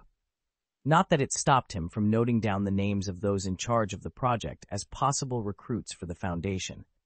Getting his hands on this damn file had not been easy either, and he still struggled with the fact that out of a full 1,000 undercover agents, he only had three in S.H.I.E.L.D. Hydra. He slowly realized just how small a part of the full might of the Foundation he truly had. Sure, he had agents everywhere, but what use was that random agent in animal control in Texas? Yeah, rather useless, for now at least. I need more manpower, and for that I need more money, or gods forbid, more SCPs. Fuck here I thought the about 160,000 personnel would be a lot, but it's a drop in a bucket compared to what I need. Still, that one drop still needs more money than one would believe. Alex sighed as he was slowly coming to terms with just how truly massive the Foundation was and how monstrous a task it was leading it. The biggest problem is going to be money. If I get a base or two every month, I should be able to at least not be totally starved for personnel. But the money to support that personnel will come up short quickly. His biggest problem was that while he did have money to spare, he had to use it in ways that couldn't be tracked, which meant that everything he needed to purchase was far more expensive than it should have been. He had even been tempted to check the bank account of O5-1, and oh boy, had that been a surprise. Yet due to his system messing with him, he found himself reluctant to use those funds. The agents in the U.S. Air Force still had to be given extra funds to bribe others to keep things about SCP-787 under control the cost of keeping that one SCP contained was getting awfully expensive due to the presence of S.H.I.E.L.D. Not to mention the first waves of bribes he had paid out while actively working on containing it. Thankfully, he had his future knowledge to work off to invest in some legitimate businesses that he knew would do well, on the side of his illegal revenue streams. For now, I have to wait for the Iron Man plot to take off, so I can make some easy money on the crash of Stark stocks then even more by also playing on the second crash and rise. Shaking his head, Alex stood up, took both the file and the small box beside it, and entered the secret containment vault of Site-001. There, he placed the file inside SCP-216 and placed the box inside the locker labeled SCP-005 before returning to above ground. Alright, let's get started with this meeting. With the current state of heightened alert and the need to recontain everything once again, we are going to need more funds. Which means we need to increase the scale of the Ritchie family so more money can be extracted towards more important projects. Alex said as he entered a meeting room filled with some of his trusted subordinates who oversaw the more bored day-to-day dealings of the Ritchie Mafia, while also being Foundation personnel. Yes, Master Ritchie, I have been following your order to get a meeting with the Mandarin, though I have not yet been successful in that desire. It is hard enough for people within the Ten Rings to meet him, much less outsiders like us. Naturally, the Ritchie family is not someone that can be ignored, not even by him, so I expect we will have our meeting within the month. The first to report was an elderly man with gray hair and a large scar on his face. Elderly he might be, but his tight suit made no effort to hide his impressive and robust body. The next one to speak up was a younger man with a fine goatee. I have been more successful in my endeavor, sir. I have already booked a meeting with Obadiah Stane for this Thursday. As for Fisk, he will be ready to meet you whenever you so desire. Ulysses Klaue was rather more difficult, but he agreed when I informed him that you would be traveling down to meet him in person. That meeting is scheduled for next Friday. Alex nodded in satisfaction as he heard the report, while he would have liked to talk with SCP-1000 before Stane. He knew well enough that it had been an unlikely wish. And what of recruitment? We are making progress on that front as well, boss, though it won't be going as fast as we would have liked. The world is currently a chaotic place with the Ten Rings and other similar organizations all working hard on recruitment of their own. Still, I expect that we will be able to increase the pace soon enough. Another man stepped up to report on his question. Well, hopefully, Stane and Ulysses will compensate for our current shortfall in weapons. As for finances, we're stable, though I expect these new ventures to quickly yield substantial returns. Alex remarked with a casualness that belied the scale of the illicit operation he was discussing. That should not take long. With the new shipping routes we are opening up, we should be able to increase profits in the drug smuggling circles by at least 20%, and that business is always increasing in worth on its own already.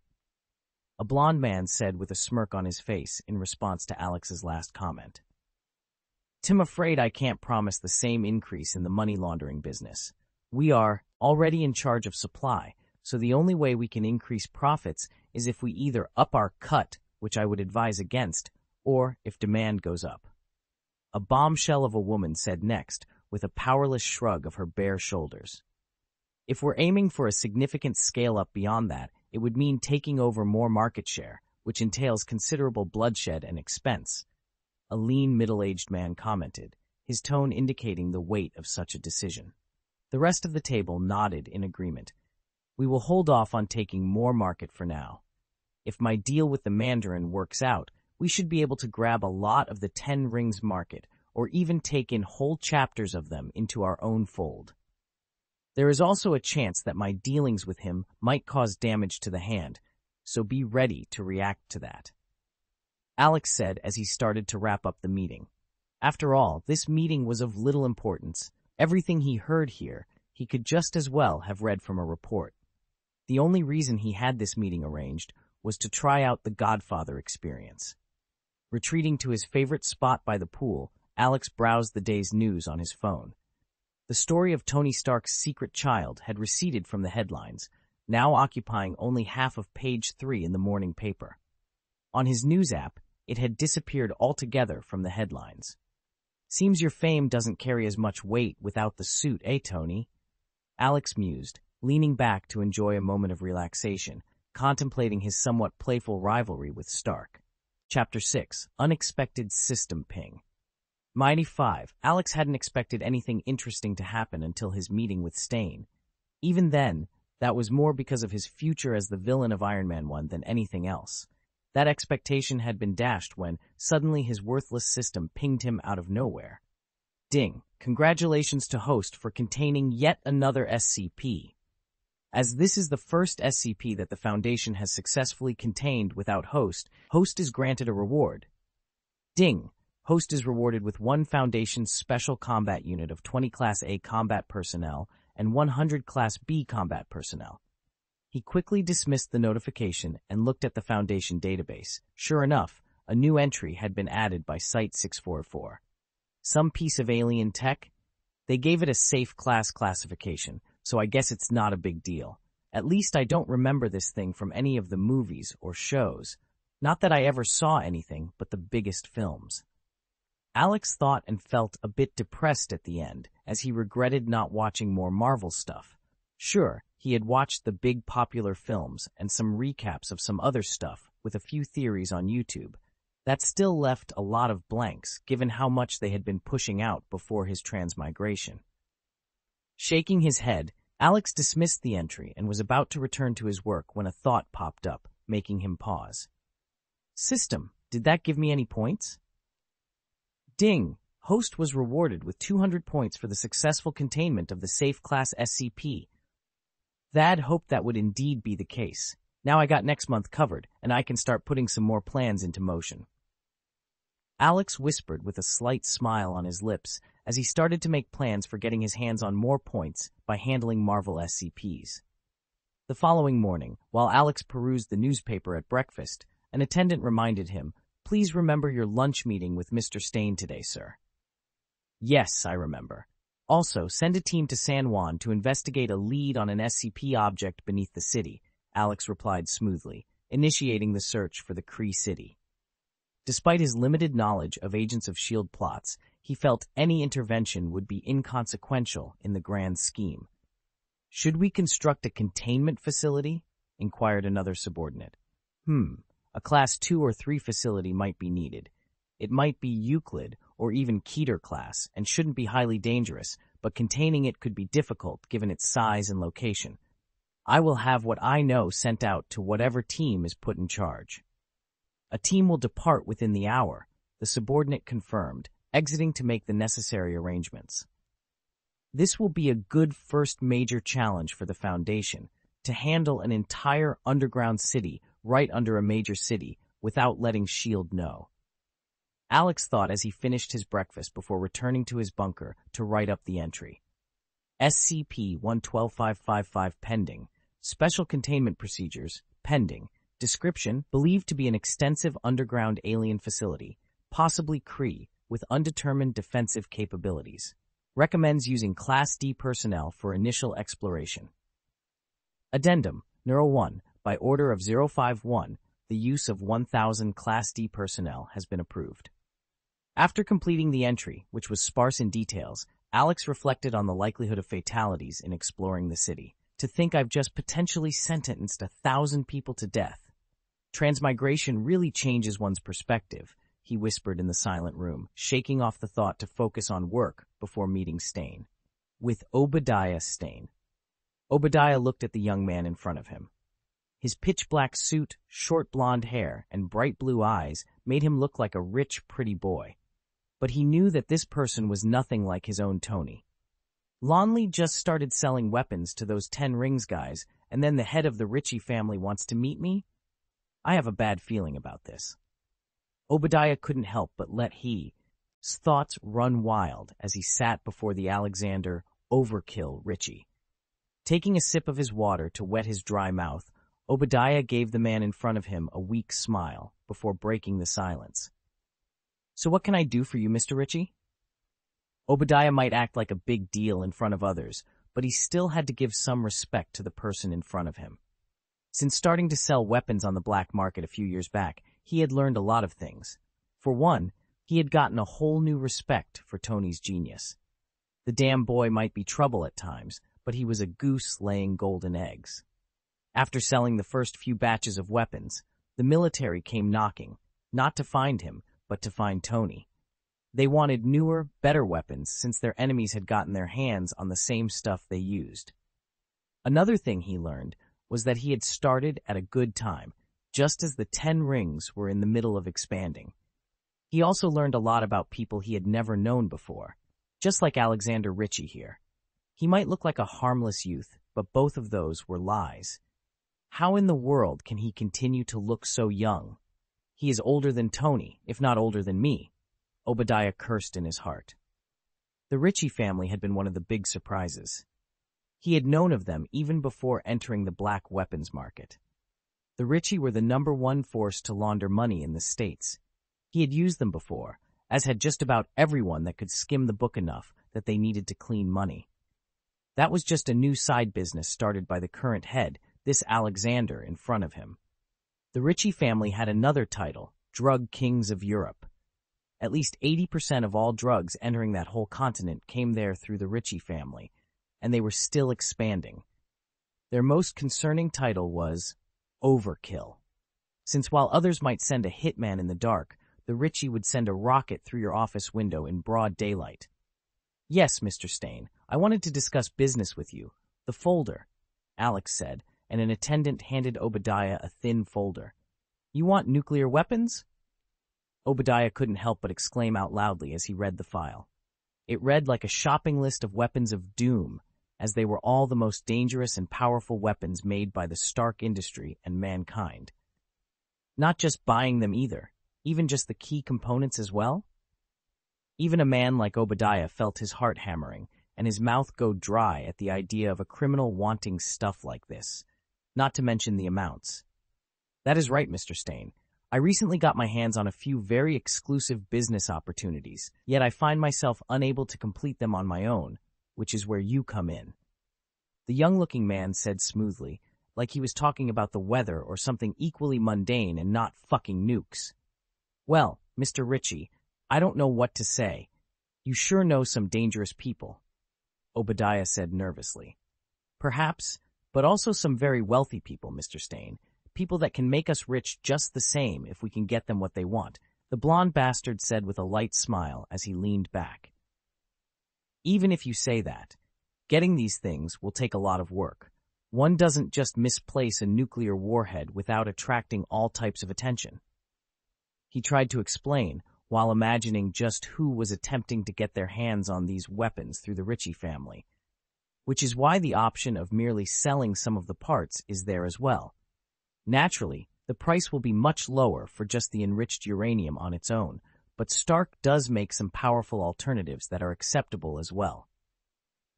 With those words, a long discussion began, which lasted hours before the two men parted ways, both satisfied. Oh, and Mr. Stane, one more thing. I just got my hands on a little something from the Air Force. It is something rather impressive as well. Perhaps, if young Tony finds himself bored, and if he would rather, he didn't go back out to feed those recent rumors. Then perhaps why, Ao could send him my way. He could spend some time helping my men look it over and trying to understand it. Who knows? He might come back home having learned a thing or two. Obadiah was left alone with those words and couldn't help but remember the news about the Air Force pulling some crazy stunts last month. He was now starting to think that it might have something to do with losing whatever it was that had ended up in Ritchie's hands. Now the question is whether or not it is worth the risk of sending Tony over to that monster. Back with Alexander. Alex sat in the back of his car on the way back home after his meeting with Stane. He knew he had spooked the man by trying to get his hands on so many powerful weapons. Right now, the Foundation just didn't have the ability to make its own nuclear weapons. And what kind of foundation would he be running if it wasn't able to throw nukes at all its problems? Sure, it wasn't like he didn't have any. Every site had at least one. While more significant sites had more as well, but the amount he could freely use was far too low for his liking. This will put a big drain on the liquid funds available to me, not to mention Ulysses next week. Who would have expected that weapons of mass destruction would be so damn expensive? Alex thought as they neared his mansion. He was also tempted to visit Kingpin, but that could wait. That man was still far from as powerful as he would be in the future, and Alex himself was far more powerful than he had assumed at first. Now let's hope Stane comes through on this entire thing. A few ready-made nukes would make me feel a lot safer for sure. Alex thought as he looked out the window at the many houses and manors of other rich people here in New York. Once back home, Alex returned to work right away, as there was still a bit of time left before dinner, and he was kept busy these days by his many plans. We need more engineers. A lot more. Look into recruiting some good ones. Alex called out to the empty room as he remembered that he had gotten requests from every site for help in building more Quinjets. They really are great crafts, he whispered, as even the drug smuggling operation under him wanted to use the stealth crafts to aid in the rapid expansion. The 50 engineers he had gotten per site wouldn't cut it as all the new sites too requested that treatment.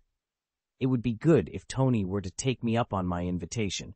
Those crafts are giving even my people some trouble, and getting a better relationship with Tony before he becomes Iron Man will be useful as well.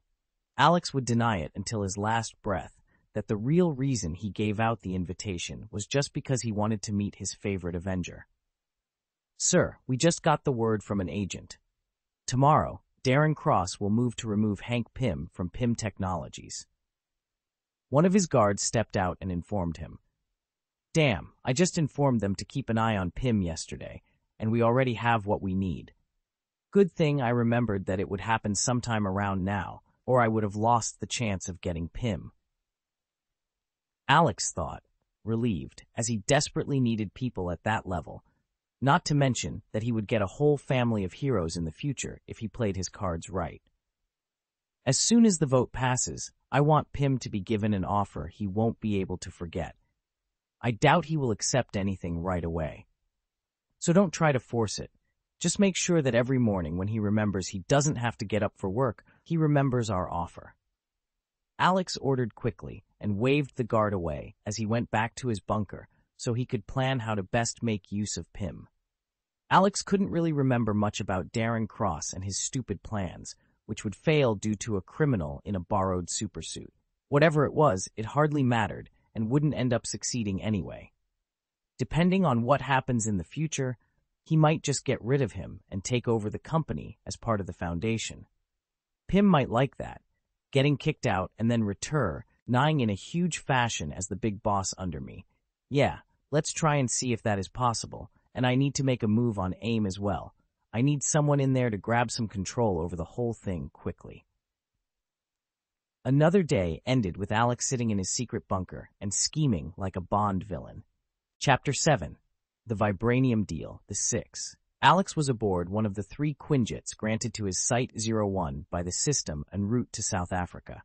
His destination, a meeting with the region's most notorious arms dealer, Ulysses Klaue.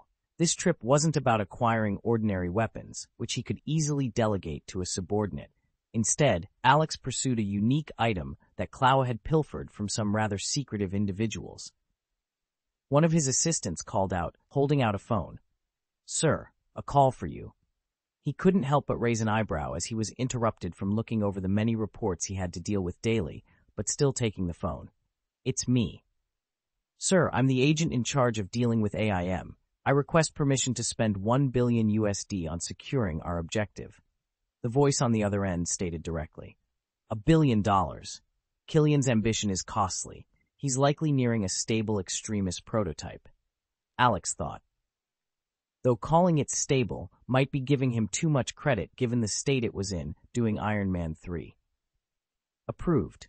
Ensure we embed at least five of our scientists in the project for that amount, he responded after a brief contemplation. On the other side of the call with Aldrich Killian. Aldrich watched the security footage on his monitor of the hallway right outside his office, where the man had gone to make a call. He was slightly impressed that he couldn't hear anything vocal jamming, this is becoming more and more interesting. Barely a moment after the call ended, the man entered the room again. Mr. Killian, my boss has agreed to the amount. He even allowed five of his own scientists to be moved in to help ensure the project succeeds. Aldrich was somewhat surprised at how easily his request for one billion was met. He had been somewhat suspicious when he was informed that some private investor wanted to join AIM especially so close to the success of Project Extremis. It all felt terribly suspicious, but he also couldn't turn down that amount of money at present. Why, that is great to hear. I don't suppose you can tell me who you work for now, can you? As for the scientists, well, I'm sure I can find somewhere for them in AIM. Aldrich said with a smile on his face. While suspicious, he still enjoyed the idea that someone believed so much in him to spend a full billion like that. I'm afraid my boss wishes to remain anonymous for now, Mr. Killian. Now, shall we get to the signing of the agreements? The man smoothly deflected and tried to move the conversation on. Well, this man might be trained enough not to let things slip, but if he really is sending real scientists, there is no way they won't let it slip soon enough. Aldrich thought to himself as they moved on to signing document after document. Aldrich was once again surprised when the person before him signed the transfer for the funds himself rather than needing his mysterious boss to process it. This caused his suspicions to grow, and he resolved himself to ensure that those spies didn't reach extremis. Alex was just about ready to meet with the infamous weapons dealer. His men were working on security right now, which for a man like him meant combat helicopters in the air with high-caliber machine guns and tank-buster rockets, as well as a fully armed section of Alpha 1 ready to lie down their lives for him. We will be landing in a few minutes, sir. From there, the meeting will be around 100 meters away from the landing point. An Alpha 1 member said as he stood in full body armor with his gun in hand. While Alex himself was just dressed in his typical suit, which was naturally entirely bulletproof, and his foundation pin on his chest. All right, and remember, we will be getting what we want from this meeting, one way or another. Alex said to remind his men to act appropriately. After all, he didn't want to pay too much, so putting a bit of pressure on Ulysses was expected. The men nodded in understanding as they waited for the craft to land, which happened five minutes later. Afterward, the door opened. All right, let's get some vibranium for the foundation. As Alex stepped outside the craft, he could see his men standing at attention while the sound of his helicopters filled the air and kicked up a strong wind. Not far away, he could see a small group of men dressed very differently from his own guard, standing around and waiting. Mr. Klaue, it is a pleasure to meet you. Alex called out as he neared the group, and he could see the man who would one day demand payment from even Ultron, Ah, Mr. Ritchie, you bring quite an escort with you. One would almost think you were going into war with that much firepower. The man said, clearly on edge by being surrounded by that much firepower.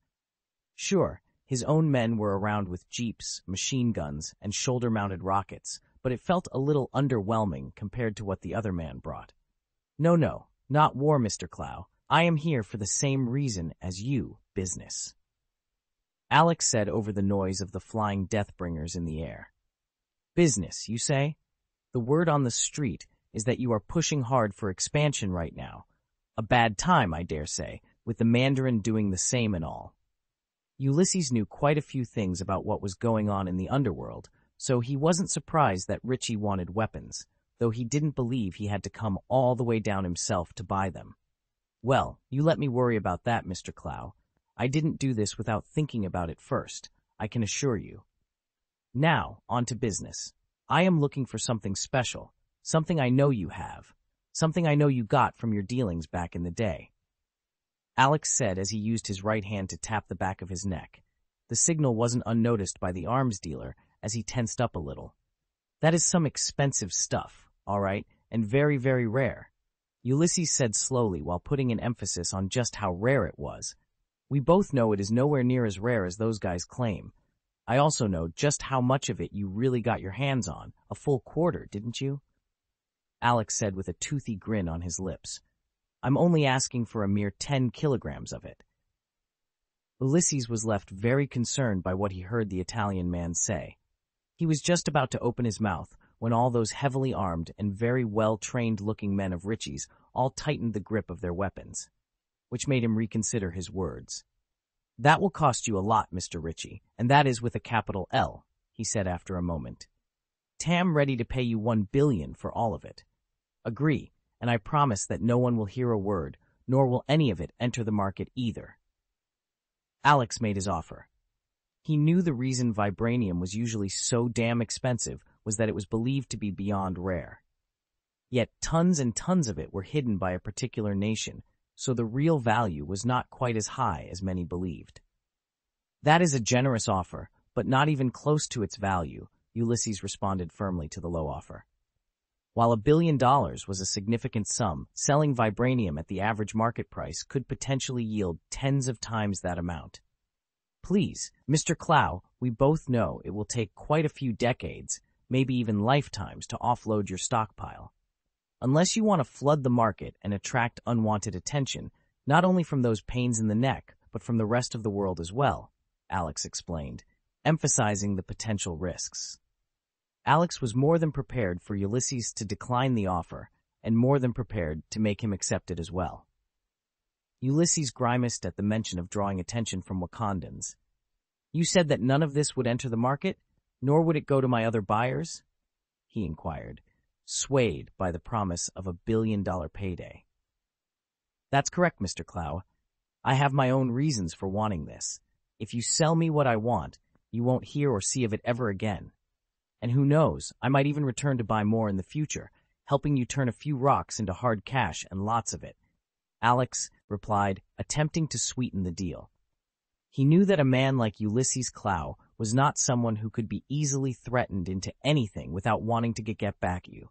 So Alex did his best to ensure Klaue would be satisfied. If he couldn't, then he would have to get rough and live up to his name as Overkill. Don't push me, Ulysses. The Foundation wants this ore, and what the Foundation wants, it gets. Handle the payment, and I'll have what you want brought out here within the hour. Ulysses agreed after a moment's consideration. He understood that while he was selling his goods below their market value, the alternative risked drawing unwanted attention. I hope the money can be all clean as well, he added cautiously.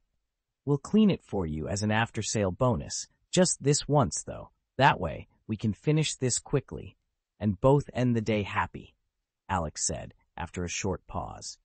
He turned around and started walking back to his Quinjet. Oh, and Mr. Klaue, if you get your hands on some nuclear stuff, let me know, Alex called out as he walked away, leaving Ulysses to sweat over that announcement. An hour later, Alex sat in his Quinjet and played with a small piece of vibranium as he started the trip back home.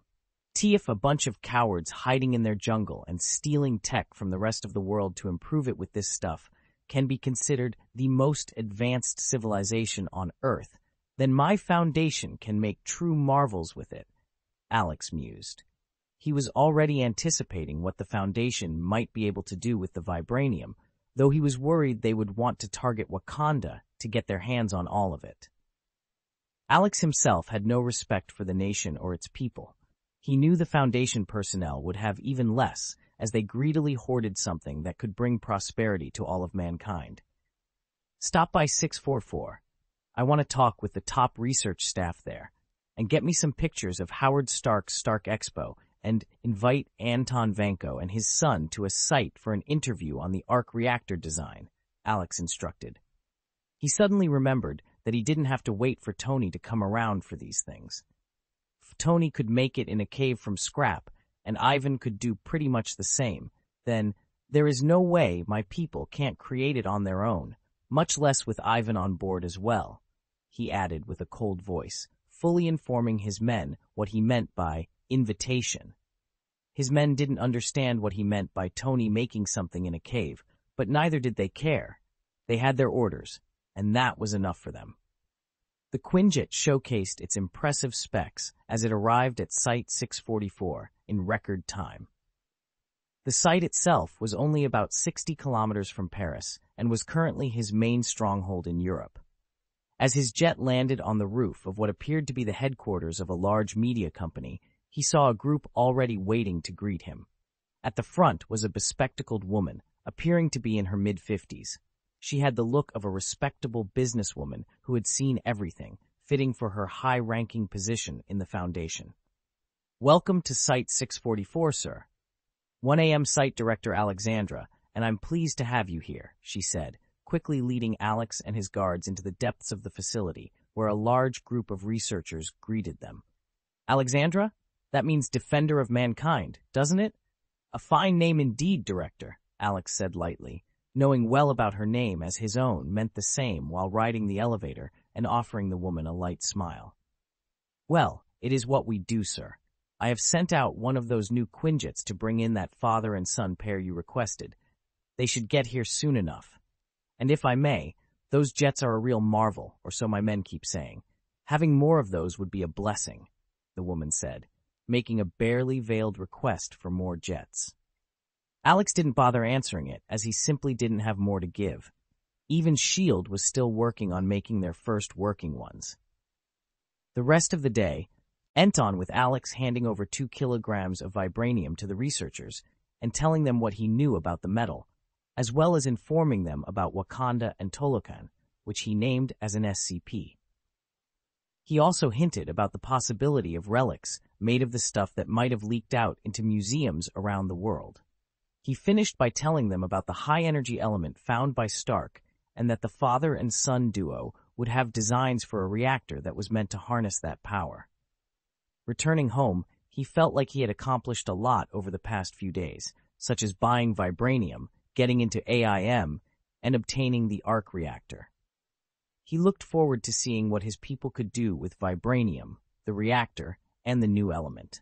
The staff back at Site 644 had been really excited to get started on it, so he expected some results soon enough. That site might not be one with a focus on science, but that didn't mean that they didn't have a large amount of bright minds around. Alex still hoped to get a proper Foundation science research site soon. For the glory of humanity, he said as he stood up and emptied his wine glass before leaving his spot by the pool and heading to bed. Behind him, his men saluted in the shadows and repeated his words. Chapter 8 The Shadow of SCP-1697 Alex barely noticed time slipping by as he plunged into a whirlwind of work. His involvement with the Foundation had escalated to an all-time high as they managed to secure an impressive array of SCPs, a feat that should have been less surprising to him. The legends of curses and hauntings they pursued often bore fruit, leading to unexpected discoveries.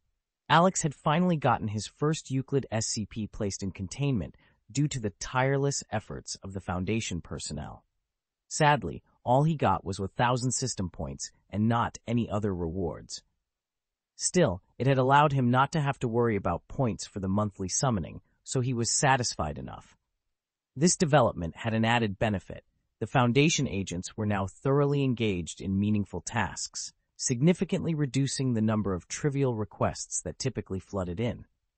However, Alex observed an uptick in requests for interventions in Wakanda, driven by the increasing allure of vibranium's potential. Amidst this flurry of activity, Alex found himself almost looking forward to the next SCP he would summon, contemplating the rewards it could bring. His attention to SCP-169, the sleeping Leviathan, had waned since there was little he could do, other than financially support its containment. Not that the system considered it properly contained. After all, all he could do was send some ships down and keep an eye out for anything that might spell trouble. Elsewhere, the giant creature was far from forgotten. Kamar-Taj. The tranquil atmosphere of Kamar-Taj had been disrupted ever since the Ancient One began displaying signs of agitation. This unusual behavior had sent ripples of unease throughout the temple, sparking whispered conversations among the masters. My friend, what has everyone acting so tense all the time? A master of the mystic arts who had been away for a time asked a friend. Ah, yeah, you have been busy with the situation in China, haven't you? Well, if you spend any time here now, you will surely notice it. The Ancient One has been spooked, the friend said in a low voice. T saw her in the library when I got here. She seemed so busy, I didn't dare to disturb her. The first master said in a low voice of his own. Indeed, she has been acting like that for the past few weeks. At first, no one dared to ask her any questions. It wasn't until Master Kaecilius asked her that the rest of us found out what was going on, the other master said in hushed tones. And what did Master Kaecilius say had worried the Supreme One? The master asked, filled with curiosity. Well, right after speaking with the Supreme One, Master Kaecilius left the temple. He returned, clearly disturbed. It was then the rest of us learned what had happened. You see, it appears that the Ancient One was suddenly alerted to the appearance of a huge life signature. When she went to check it out, she discovered an impossibly huge creature sleeping at the bottom of the sea. Which sea? The other master interrupted. Not just one, my dear friend. That is what is so frightening. The creature is so huge it spans from the Atlantic to the Pacific. As I said, the creature is impossibly large in size. There is no way it just appeared. It must have been there for millions of years, but it went unnoticed until a few weeks ago. Now everyone is trying to find out who hid the creature and how they did it, the master said, not letting the interruption bother him. So, this creature has scared everyone? The master asked, clearly not yet understanding the size of the unknown creature. Well, naturally, everyone is worried. As I said, the creature is sleeping, but should it wake up and move just a little bit, it will cause countless amounts of life to be lost, possibly destroying entire continents without meaning to, the master said, trying to help his friend understand the horror of this behemoth. That, that is a scary thought, but it is sleeping, yes? The tone of the first master had now grown more worried and the volume lower. Yes, and I'm sure many masters are looking for ways to ensure it doesn't wake up either, the master said, casting a look towards the library, where both the Ancient One and most senior masters were buried in old tomes. And here I thought we had enough to worry about, with creatures from other dimensions trying to enter into ours. Yet now we also have to deal with something like that. I don't envy the Supreme One. The burden on her shoulders must truly be immense. The two masters continued to discuss it in hushed whispers, and all around the place, other members of Kamar-Taj did the same. The sudden appearance of SCP-169 had truly made everyone feel worried. Rightfully so as well, since it was a dangerous Keter Class 1, which could cause a K-Class event. At the bottom of the sea lay Talokan, a city glittering with a brilliant luster, home to the Talokanil, a near-human species adorned with blue skin and gills. Having long forsaken the surface world, they now reigned supreme under the waves, their resentment towards humans slowly growing as their waters became increasingly polluted. Inside a resplendent building, King Namor engaged in earnest conversation with one of his advisors. The subject of their discourse was evident, observable through the large windows of the chamber. SCP-169, also known as the Leviathan, loomed ominously in their midst, though they would not recognize it by that name. My king, did you learn anything from the surface dwellers?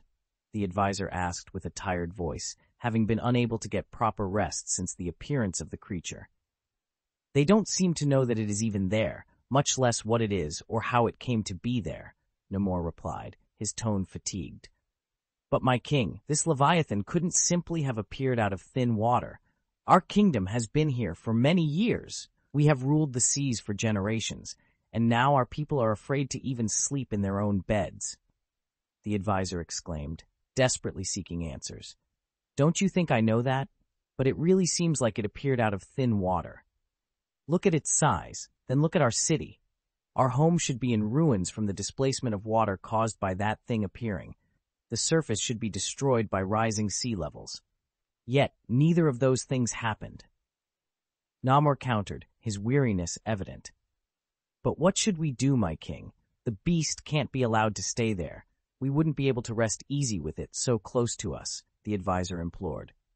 Nothing. We will do nothing because we can't do anything. The creature is sleeping right now, and it's the only reason our kingdom is still intact. Should it wake up and move, we would be doomed. No, we have ruled the seas for a long time. Now we must simply accept that we are not its true masters, Namor declared, his voice filling the chamber with resolve. But what of the people? What do we tell them? They are worried. They can't rest or stay calm. The whole kingdom is in chaos, even as we speak, the advisor protested, his voice shaking.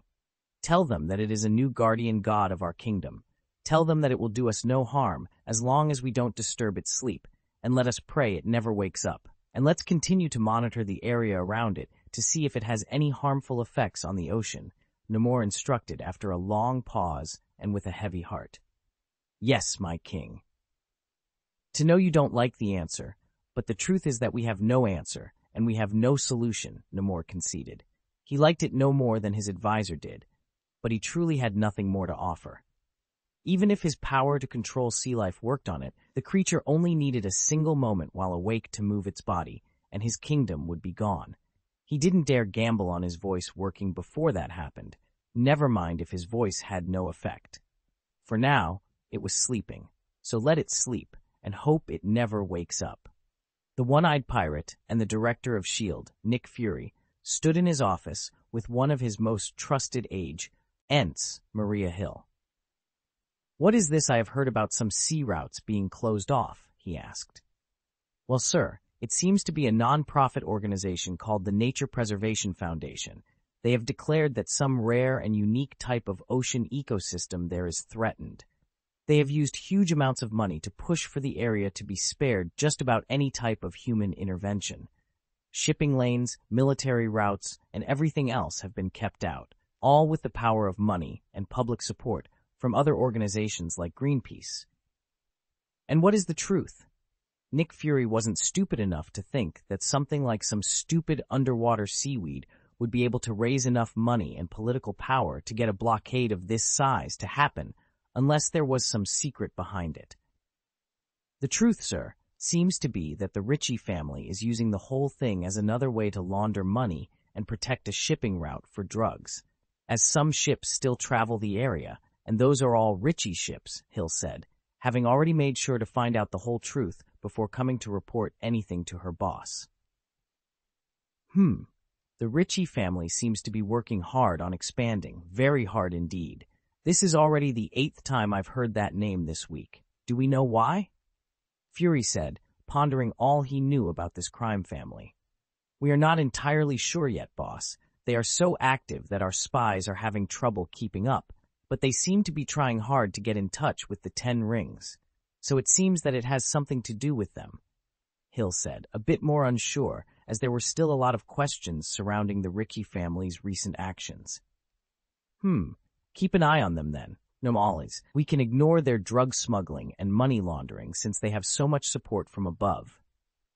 But if they start working with terrorists, we might have to get involved, Fury said after a moment, countless plans for dealing with the Ritchie family flashing through his mind momentarily before letting it drop.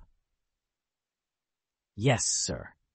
I will have our men keep an eye out for anything and figure out what they want with the ten rings, Hill said as she finished up her report and put the matter in the back of her mind, deeming it mostly unimportant. Site 001. While the world slowly reacted to his actions, Alex himself sat in his bunker, adding names to the long list of people and organizations he wanted to keep an eye on at all times. Joseph and Lucy Bauer, Bruce Banner, Peter Parker, Norman Osborn, Morgan Le Fay, Pride, Agatha Harkness, Dr. Stephen Vincent Strange, Wanda Maximoff, Daniel Whitehall, aka Werner Reinhardt, Natasha Romanoff, Anthony Edward Stark, Kevin Thompson, Jessica Jones, Marc Spector, Arthur Harrow, Helen Cho, Sersi, Gilgamesh, Ajak, Ikaris, Thena, Kingo, Sprite, Phastos, Makkari, Druig. The list was filled with names that Alex remembered from before his move into this world, though many of those names he had little idea of who there truly was. He knew that some of them was connected to the Darkhold, which was enough to earn his attention. Other names were added simply so he could stay updated on important events. Norman Osborn had been a rather unpleasant surprise, as it wasn't one he had expected to see in this world. Yet clearly there was some differences between this world and the canon MCU. What these differences was, he didn't know. However, it did mean he had to be on guard for the unexpected. Still, the list before him was filled with people who could come across an SCP or were SCPs themselves.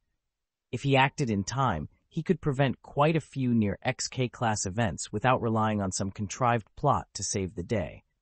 Furthermore, Many of them could potentially be valuable assets for him and the Foundation without alerting the Ancient One. He truly desired to acquire the Tesseract, but feared that doing so would draw her wrath upon him. Additionally, he wanted to ensure he could contain it in a way that Loki wouldn't be able to manipulate it. For now, he focused on smaller tasks. However, as he looked at the list, he couldn't help but mourn the time he would have to spend writing up SCP files for many of them. Far too many were simply too dangerous to confront without any knowledge of their abilities, and he didn't want to risk either sacrificing his agents or alerting the anomalies. Chapter 9 The Mandarin finally ate. Now I know that in the film, Wenwu mocks the name he was given by the West. He does, however, use that in the comics, so the using of that name is part of my AU. After far too long, Alex finally had a chance to speak with SCP-1000. The Mandarin, Xu Wenwu himself. Alex had been just about ready to send one of the Foundation's valuable nukes down at him to get his attention. Alex, as the leader of the Foundation, had gotten used to being in charge over the past two months. Waiting weeks to talk with someone didn't make him happy at all. Even more so when all he got was a damned phone call with him as well. The Mandarin, it sure has been difficult to get a chance to talk with you, Mr. Xu. Alex said as the phone connected while leaning back in his office at Site 001. Mr. Ritchie, your persistent efforts to reach me have been noted. Xu's voice came through, devoid of humor. I am occupied these days. Be direct and do not squander my time. Fine, Mr. Xu, if that is what you want. I wanted to speak with you about your return and the revival of the Ten Rings. I was of the understanding that you had retired to be with your family. Alex said slowly while tapping his fingers against his desk.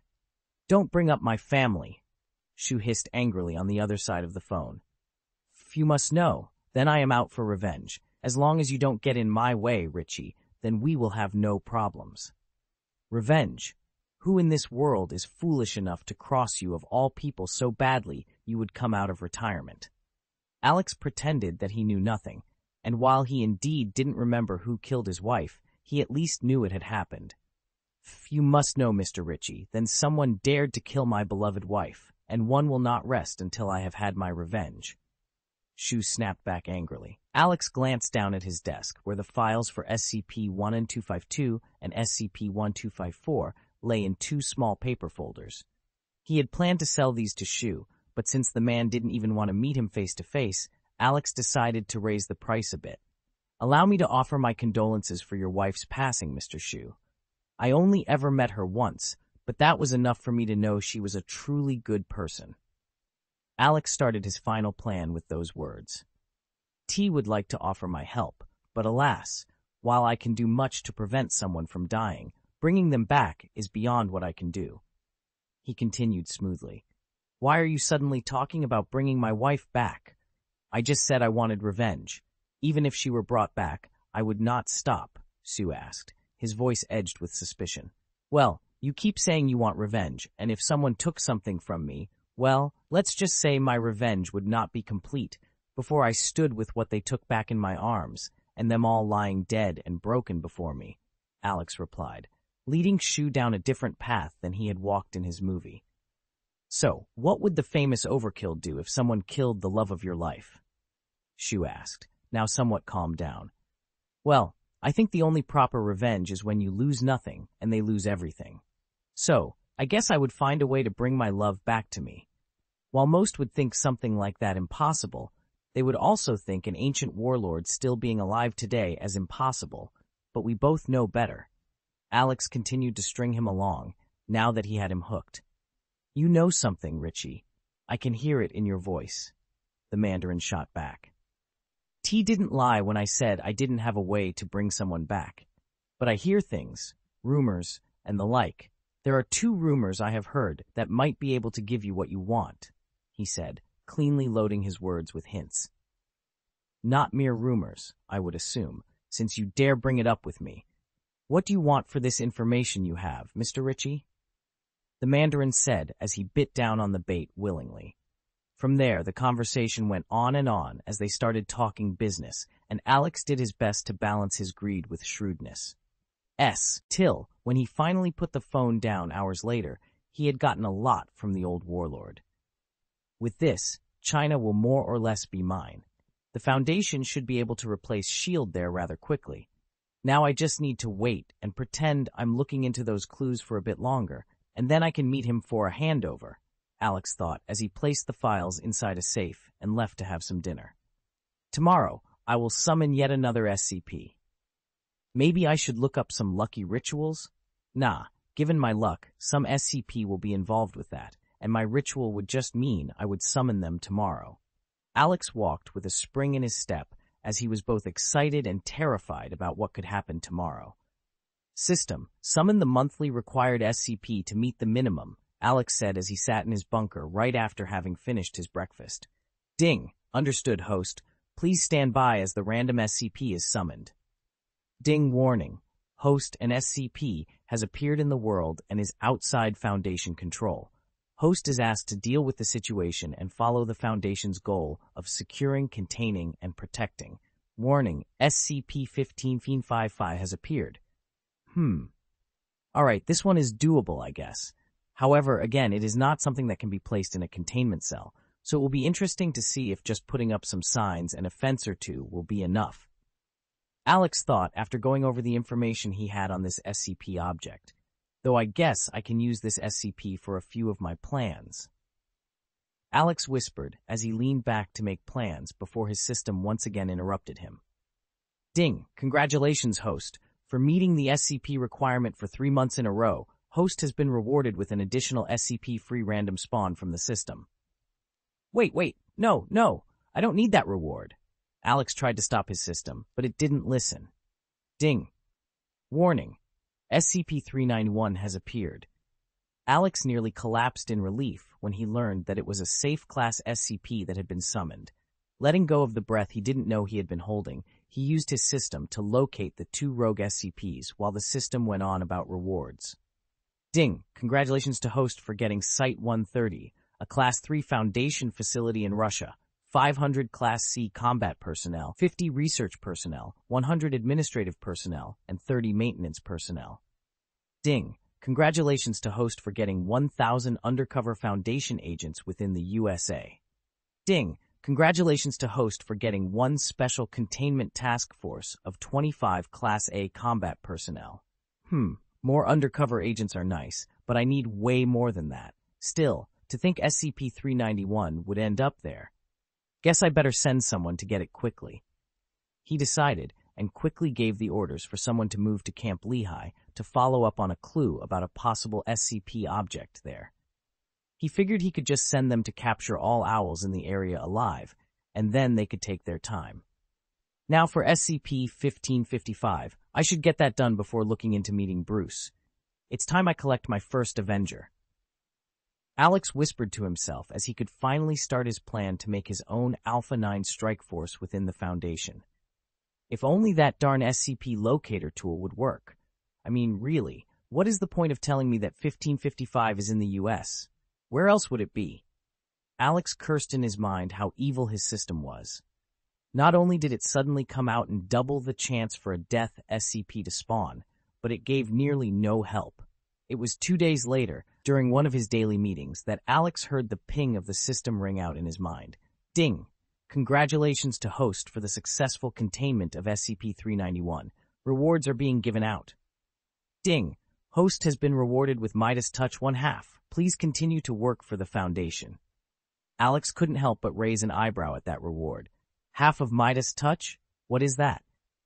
System. Explain the reward, he whispered under his breath. Ding. Midas Touch allows host to turn O, objects he is touching into gold.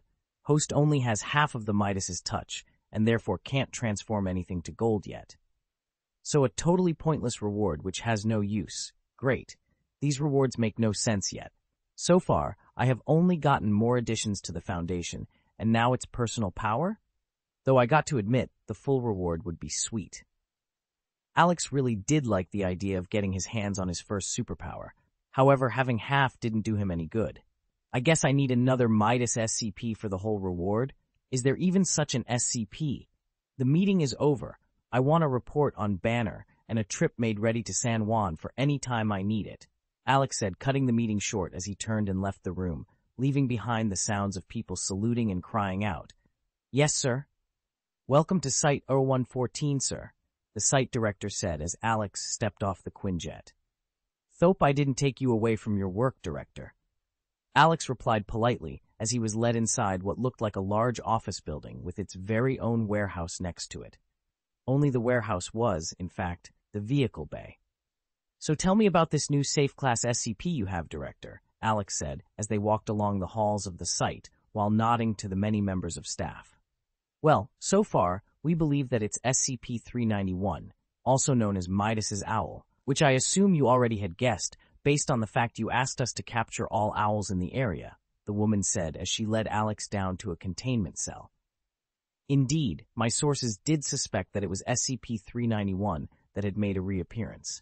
Still, given the situation we are in, it's best to be extra cautious. Now, did retrieving 391 come with any difficulties? With the area it showed up in being watched by SHIELD's Hydra Division? Not as much as we had feared, sir. We got some proper paperwork done, which should allow us in, and I suspect they didn't want to make a show out of refusing us. They did demand to watch our men do their work, but that was no problem, the woman said as they stood before a large glass window into the containment cell. That's good. We wouldn't want S.H.I.E.L.D. to get in the way of the Foundation's work. While they try to protect humanity in their own way, they can't be trusted with something so important. Only we can, Alex said, not forgetting to enhance the glory of his Foundation in the minds of the other people in the room. Right, you are, sir. They have their own thoughts and ideas. They are not suited to handle SCP cases like we do. The woman agreed, as she knew a lot about S.H.I.E.L.D. as a Class 4 employee of the Foundation. The more she knew about them, the less she liked the organization that pretended to be like their Foundation. But enough about that. Instead, I want to talk about 391. I want you to figure out how much gold it can produce and its worth. You are then to sell it through agents within the Ritchie family. The proceeds will be added to this site, though it won't reduce the funds granted from headquarters. Still, it is important to keep the accounts clean and clear. Understood? Alex said after thinking for a moment. He knew that the amount of gold would not be that much, so there was no point in taking the SCP object back to Site-001. Better to just let it stay here and increase the money this site had so he wouldn't need to increase the budget too much as they got hold of more SCPs. The director naturally agreed as she didn't have a choice and wouldn't go about turning down extra funds as even though there weren't yet many SCPs in containment, the hunt for them still cost a lot of money. After spending the rest of the day at Site-0114, Alex bid farewell and returned back to his home to rest. Tomorrow, we will set off for San Juan, he told his guards so they could prepare everything as he entered his quarters for the night. While Alexander Ritchie was having a meeting with the staff at Site 0114, another Alexander was hearing a report that had quite a few similarities with the one Alex heard. So someone wanted to poke a row at Camp Lehigh. Alexander Pierce asked on the phone. He, as the head of Hydra, knew that while most of S.H.I.E.L.D. had mostly abandoned the place, Hydra still had some secrets buried there. Yes, sir. It was animal control, sir. They had the proper paperwork to get access to the place, so we couldn't stop them without a good reason. Even then, it would surely have raised questions about why we cared so much for what is supposed to be an abandoned site. The agent on the other end of the call said, We were able to shadow them as they worked on capturing all owls they could find. They did spend a bit of time looking at the bottom of trees for traces of more owls, but did nothing suspicious. It seemed that it was just a legit search for owls without anything else. Hmm, well done for keeping this under wraps for now. I expect you to follow up and ensure nothing else was done or left behind by them. As long as you find nothing, then don't bother reporting it, Pierce said after a short pause as he came to the conclusion that nothing was off about it given the order to capture owls was legit, and apparently because there were signs of bird flu. Understood, sir. Hail Hydra. Hail Hydra. Chapter 10 Inhuman Clue 9 It was a beautiful morning in New York. People were going about their business and hurrying to work and school all around. The city was buzzing with sound and life. Truly, this place was the beating heart of the modern world. In the affluent area of town, Nestled within a grand mansion lived a young, handsome Italian man. The mansion was abuzz with activity, including the distinct sound of a sleek, black, high-tech stealth jet taking off. Their destination was San Juan, where Alex intended to oversee containment efforts for a significant SCP. This endeavor piqued Alex's interest, as containing such a dangerous anomaly in total secrecy presented a formidable challenge. As they touched down, Alex was escorted to an unassuming house that had been converted into a Class II facility. Welcome to the temporary Site-2555, sir. The man in charge said as Alex stepped foot into the building. The SCP here is dangerous, sir. Due to this, there are certain precautions you need to be made aware of. First, you are not allowed to enter into SCP-12555 yourself. It is simply too dangerous. The man said both towards Alex and his guards, who all nodded. Secondly, only Foundation personnel with a security clearance of Level 2 or lower are permitted near SCP-12555. And thirdly, no advanced Foundation equipment is allowed inside. The man explained, leading them to a room filled with monitoring equipment and diagrams. As you're likely aware, SCP-1255 is an underground city of unknown origin exhibiting anomalous properties. Given its underwater location and limited entry points, gaining access to the city was challenging. However, by using powerful drilling equipment, we were able to create an entrance. Alex examined the maps and pictures displayed during the briefing, nodding slowly as he absorbed the information. He harbored a keen interest in understanding the inner workings of the Foundation. While he could access the finished product through the database provided by the system, he also desired insight into the process leading to that point. After establishing entry, our primary focus was on securing the object and mapping out the interior. This task presented challenges, particularly due to the large size of the object, meaning that it's entirely possible that other entrances exist, the man continued. Alex was well aware of the potential difficulties with this SCP object. After all, not only was the size and scale massive, but so too did it just happen to sit under a city, meaning that all work had to be done in total secrecy. Once more, Alex was reminded of the critical need for additional undercover agents. Do I truly need to recruit agents independently? Acquiring the allegiance of low-level individuals will undoubtedly be costly. Training high-level operatives from the ground up seems inevitable. The temptation to summon more SCPs to bolster Foundation personnel grew within him once again. However, he recognized the inherent risks associated with such actions. Some SCP objects might require more personnel than he could secure through summoning, not to mention the inherent dangers involved. After establishing the outer perimeter, we arranged for the shipment of equipment and personnel, including a contingent of Class D personnel, generously permitted for our use. Our initial efforts involved deploying probes and surveillance equipment into the area, the man concluded. All attempts using electronic equipment proved futile, as the SCP interfered with all such devices, the man explained, presenting a detailed list of tests and equipment used in those failed attempts.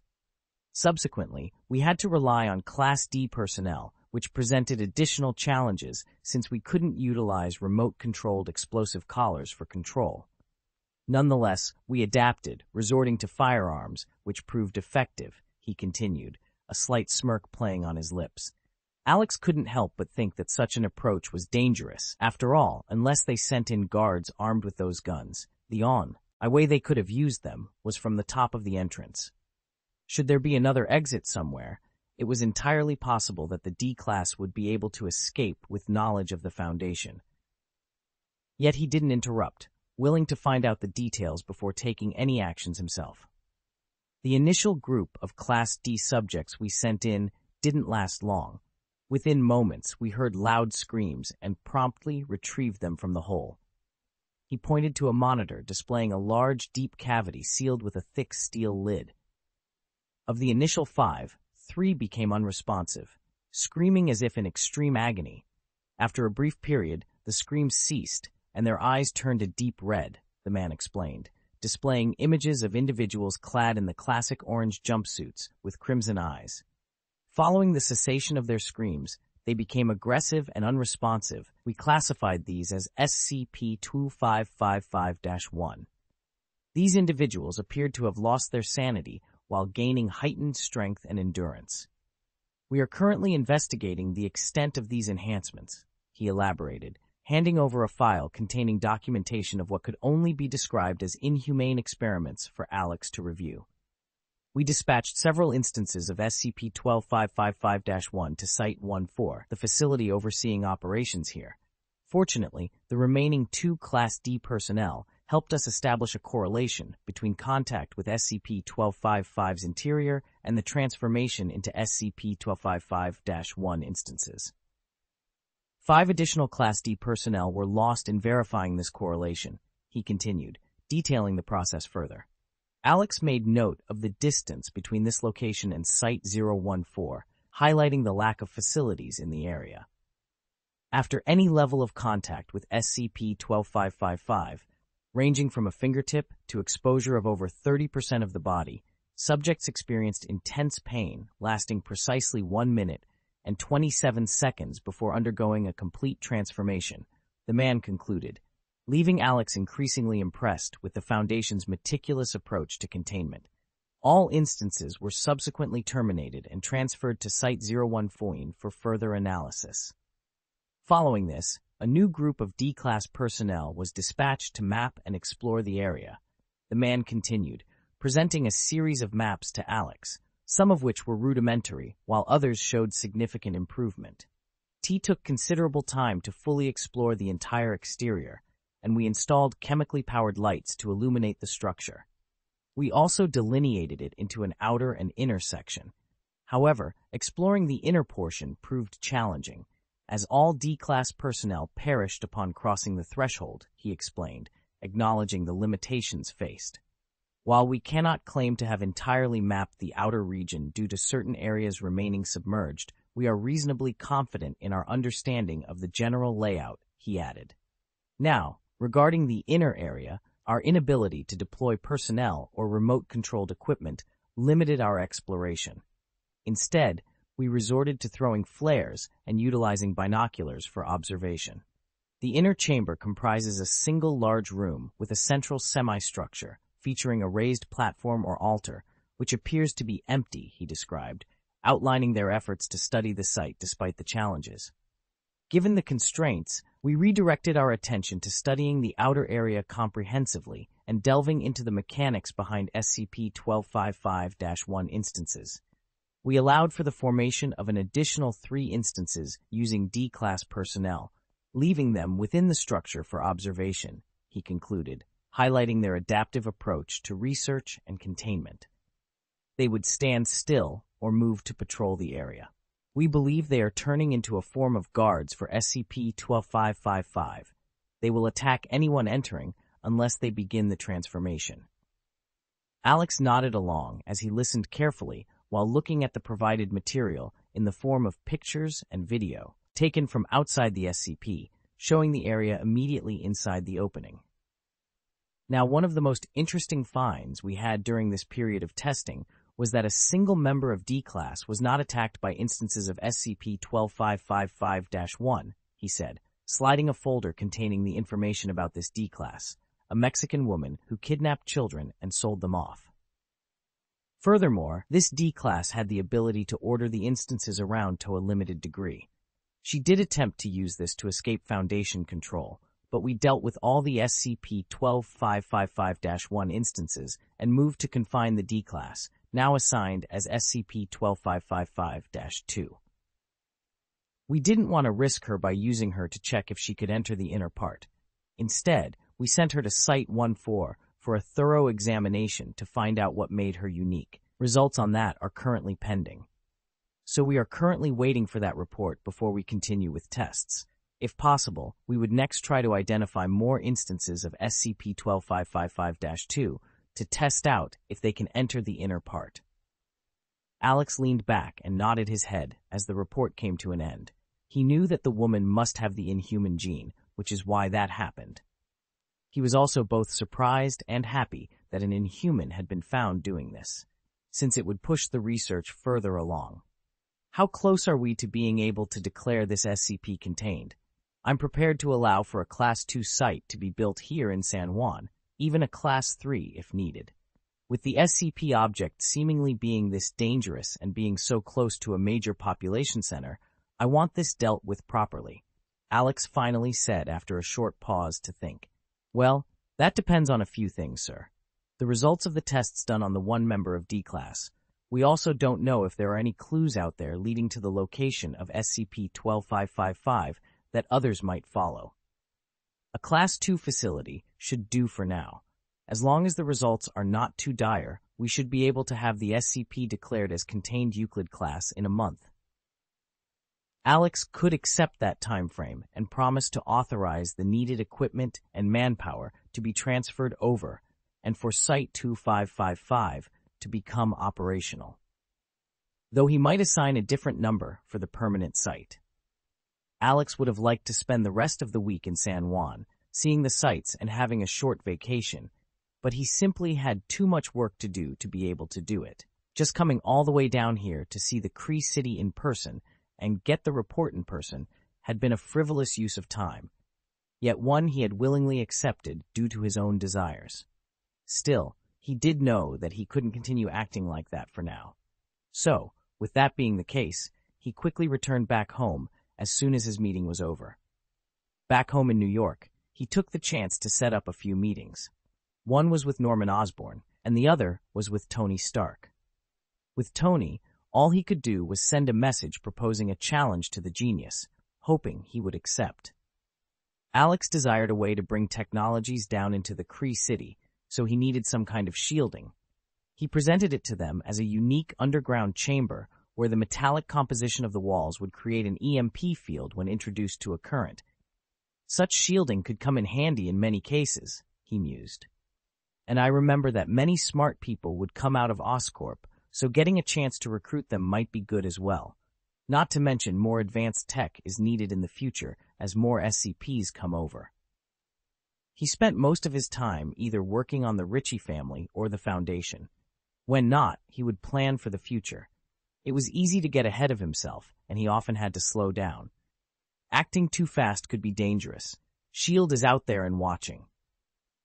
Plans had been drawn up and scrapped again and again as the timing was off, or the objective would be more successful if he waited longer. There were so many people he wanted to meet and bring into the Foundation, yet doing so was damn difficult, since they were all occupied with other endeavors, under the watchful eye of S.H.I.E.L.D., or simply hesitant to join a shady super organization. Still, he refused to believe that the nearly almighty Foundation, which could acquire and contain gods, couldn't recruit a few arrogant scientists and researchers as well. It was all a matter of time, and having enough SCPs in containment that he could use to demonstrate the value the Foundation brought to humanity would be helpful. Still, SCP-1555 should be enough to persuade Banner to come on board. He wouldn't need much proof, as long as I promise him a better life than he has now, which should be easy since he is on the run, and offer him a chance to work on curing the Hulk. Though I need him to fail there, the Hulk is important for the future. Yeah, the Hulk will remain, but I can bring him and Banner closer so we won't have problems. Not to mention, it should count as at least an Euclid-class SCP being contained. Alex mused to himself as he slowly left his bunker after finishing his work. Poor Bruce Banner had no idea that his already chaotic life would soon undergo a huge change as a new person schemed to get his hands on him.